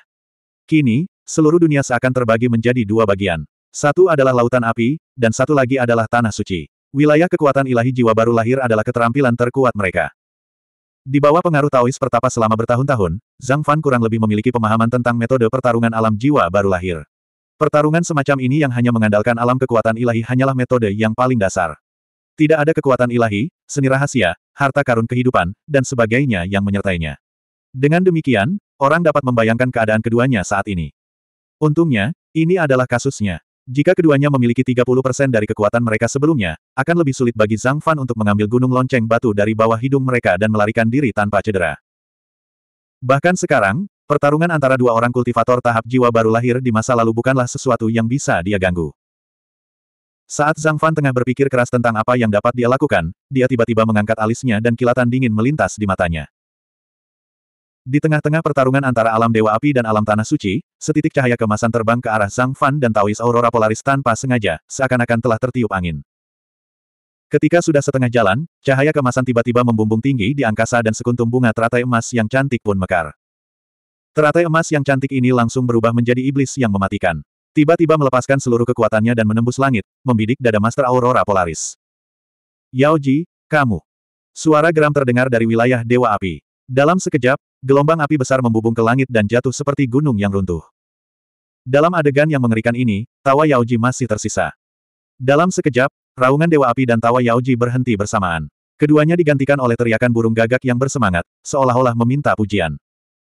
Melihat ke arah suara itu, tidak jauh dari Taois Aurora Polaris, ada seekor burung besar dengan bulu berwarna emas gelap. Ia dengan bangga merentangkan bulu-bulunya, terutama tiga bulu emas di punggungnya. Seolah-olah ia takut orang-orang tidak akan memperhatikannya. Api menyembur dari cakarnya dan menutupi seluruh tubuhnya, tetapi dia tidak terluka sama sekali. Sebaliknya, dia menggigil dari waktu ke waktu, seolah-olah dia sedang berendam di sumber air panas. Peri Moling. Pada saat kritis, Peri Moling menghancurkan teratai emas yang mematikan itu dengan satu cakar. Zhang Fan, apa kabar? Di alam tanah suci, suara Yaoji terdengar seperti dia sedang menggertakkan giginya. Saat bertarung dengan Dewa Api, dia tiba-tiba melancarkan serangan diam-diam. Tujuannya sangat jelas. Dia ingin membunuh satu orang lagi untuk menyelesaikan pengorbanan terakhir, menghancurkan alam kabut dan alam api ungu, dan membiarkan retakan langit muncul kembali di dunia. Bagaimanapun, Master Aurora Polaris maupun Zhang Fan bukanlah orang yang mudah dihadapi. Namun, saat ini, Master Aurora Polaris sedang linglung, dengan kata-kata, datang dan bunuh aku, tertulis di dahinya. Tentu saja, dia tidak akan bersikap sopan. Namun, Zhang Fan telah menyadari hal ini dan mengatur agar Perimoling menjaga di samping Master Aurora Polaris. Benar saja, dia memainkan peran kunci. Yao Ji, sebaiknya kau bertarung dengan Dewa Api. Kau tidak perlu khawatir tentang Master Aurora Polaris. Seolah-olah dia tidak mendengar ancaman dalam kata-kata Yao Ji, Zhang Fan melangkah maju dan berdiri di luar medan perang. Jika dia masih ingin bermain trik, dia harus terbang melewatinya. Baiklah, Zhang Fan, aku akan mengingatmu. Tunggu, aku akan membiarkanmu merasakan ekstasi. Begitu Yaoji selesai berbicara, Zhang Fan tersenyum dan hendak membalas, tetapi tiba-tiba dia berhenti. Sebuah suara terdengar di telinganya. Rekan Taois Sang, apakah kau sudah menemukan pedang air absolut? 520. Rekan Taois Sang, apakah kamu telah menemukan pedang kepunahan air? Pedang air kepunahan, pedang penyu hitam ke-9 utara. Mengapa dia menanyakan hal itu? Tiba-tiba, Pikiran Zhang Fan berubah dengan cepat. Ekspresinya menjadi serius, tetapi dia tidak menjawab. Dia hanya mengangguk sedikit dan berkata kepada Yaoji dengan acuh tak acuh, aku menunggu instruksimu. Dia tidak peduli dengan reaksi Yaoji. Dia berdiri diam, mengerutkan kening, dan tidak mengatakan apa pun. Adegan dia melompat keluar dari air tidak luput dari perhatian Dewa Api dan Yaoji. Dilihat dari runtuhnya dunia kabut, mereka dapat mengetahui bahwa pedang kura-kura hitam ke-9 utara berada di bawah laut. Itulah sebabnya Dewa Api menanyakan pertanyaan ini. Tidak masalah. Yang penting adalah tujuan pertanyaannya. Ketika pedang kura-kura hitam terangkat, dunia kabut runtuh, segel terbuka, dan retakan langit muncul kembali. Apakah dia ingin? Ekspresi Zhang Fan tiba-tiba berubah. Ketika memikirkan kata-kata Dewa Api, sebuah kemungkinan muncul di benaknya. Sebelum dia sempat berpikir lebih jauh, sebuah teriakan disertai tawa panjang menyebar ke seluruh dunia. Bagus. Hahaha.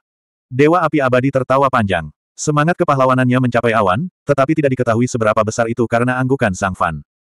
Dewa Api, kau akan mati, tetapi kau masih bisa tertawa. Aku mengagumi karaktermu. Suara Yaoji enak didengar, tetapi entah mengapa terdengar suram, seolah kegagalan yang terus-menerus telah menghabiskan kesabarannya yang terakhir. Lucu sekali. Kenapa aku tidak bisa tertawa?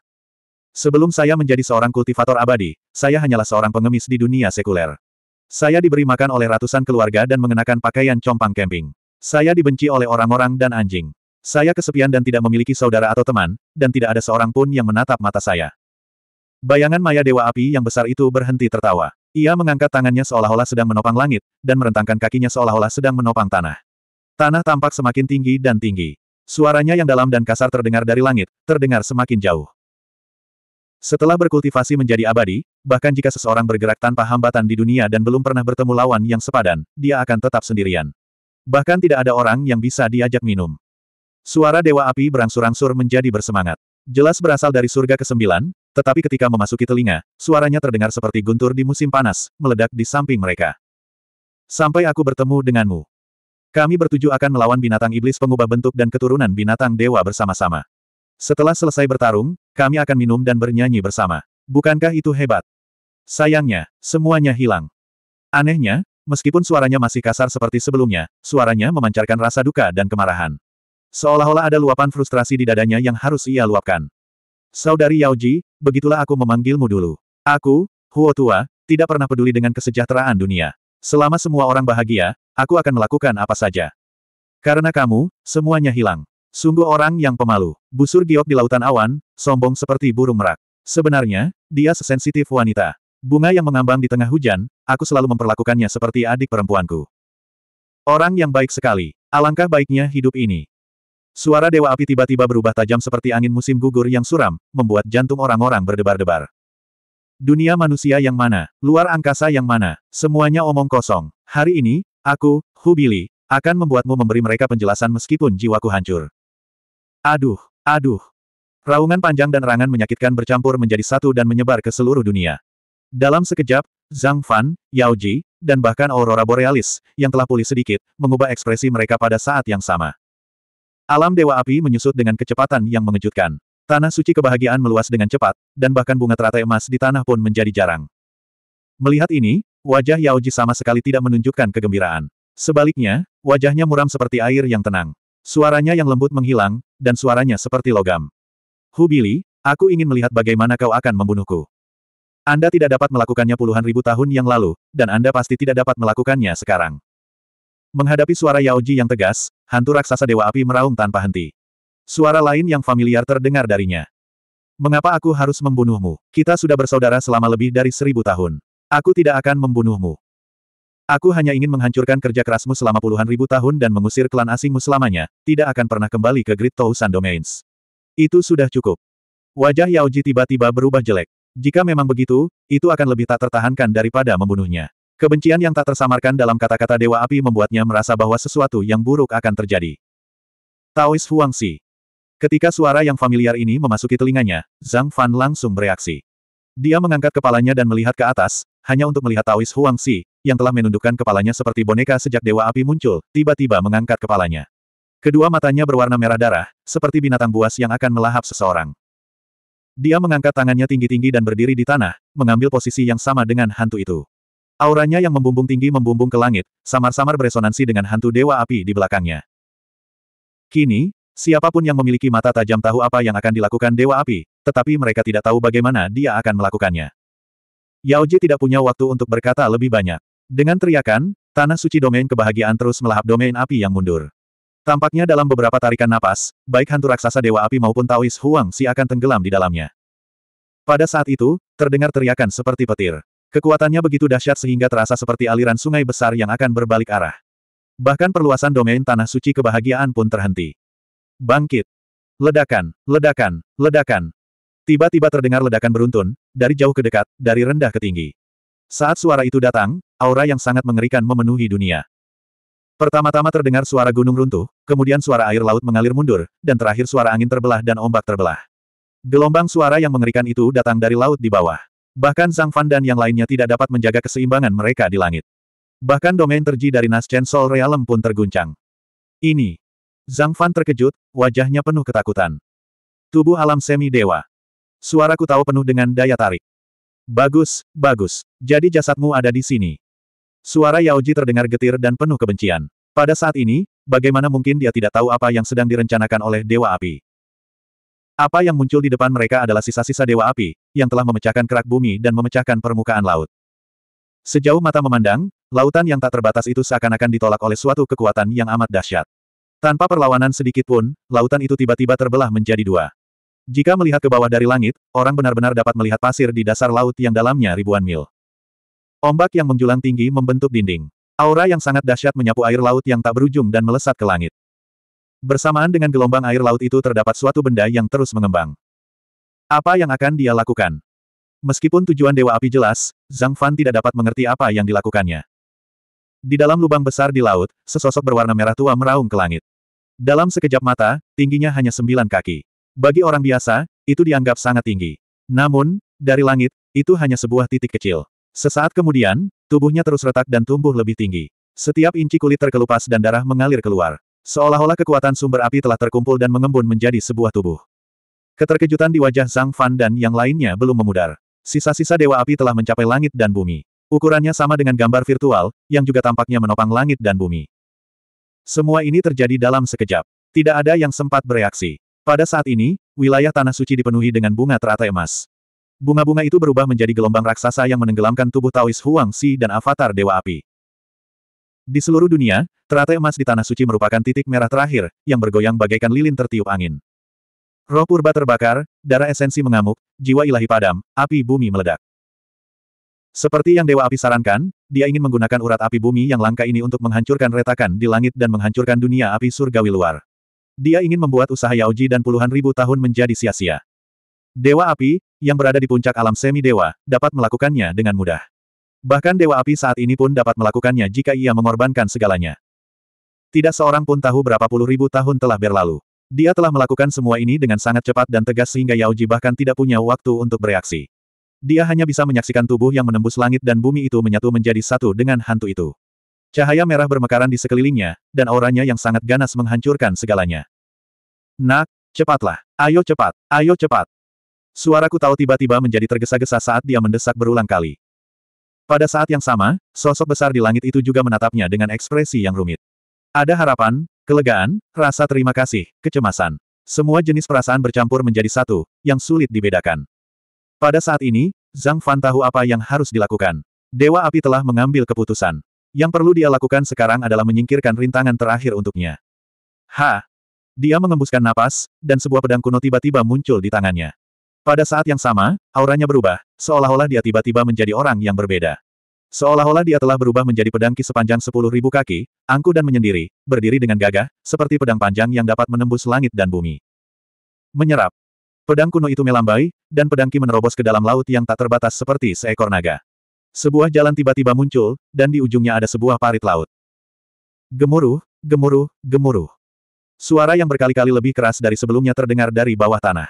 Air hitam itu diwarnai dengan sinar cahaya yang tak terhitung jumlahnya. Kura-kura hitam yang besar itu meraung ke langit, dan setitik cahaya pedang menyambar keluar. Pedang penyu hitam Gui ke sembilan utara. Pedang ajaib lima arah terangkat, dan dunia berkabut pun runtuh. Saat pedang kura-kura hitam Gui ke sembilan utara ditarik keluar, seluruh dunia berkabut, termasuk gunung-gunung dan sungai-sungai di luar kabut, tiba-tiba berubah. Kerak bumi hancur menjadi debu, laut mengering tanpa suara, langit penuh retakan, dan angin menderu. Langit runtuh, bumi berputar, laut mengering, kabut menghilang, dan api ungu muncul. Seluruh dunia bagaikan mimpi. Saat pedang ajaib itu ditarik keluar, tiba-tiba pedang itu runtuh. Aduh, aduh. Di tengah raungan yang amat menyakitkan itu, tubuh setengah dewa api tiba-tiba bangkit lagi, dan kakinya mendarat di tanah, tepat di depan gunung lonceng batu, di urat api bumi. Apa yang terjadi selanjutnya adalah suara keras yang menembus langit dan bumi.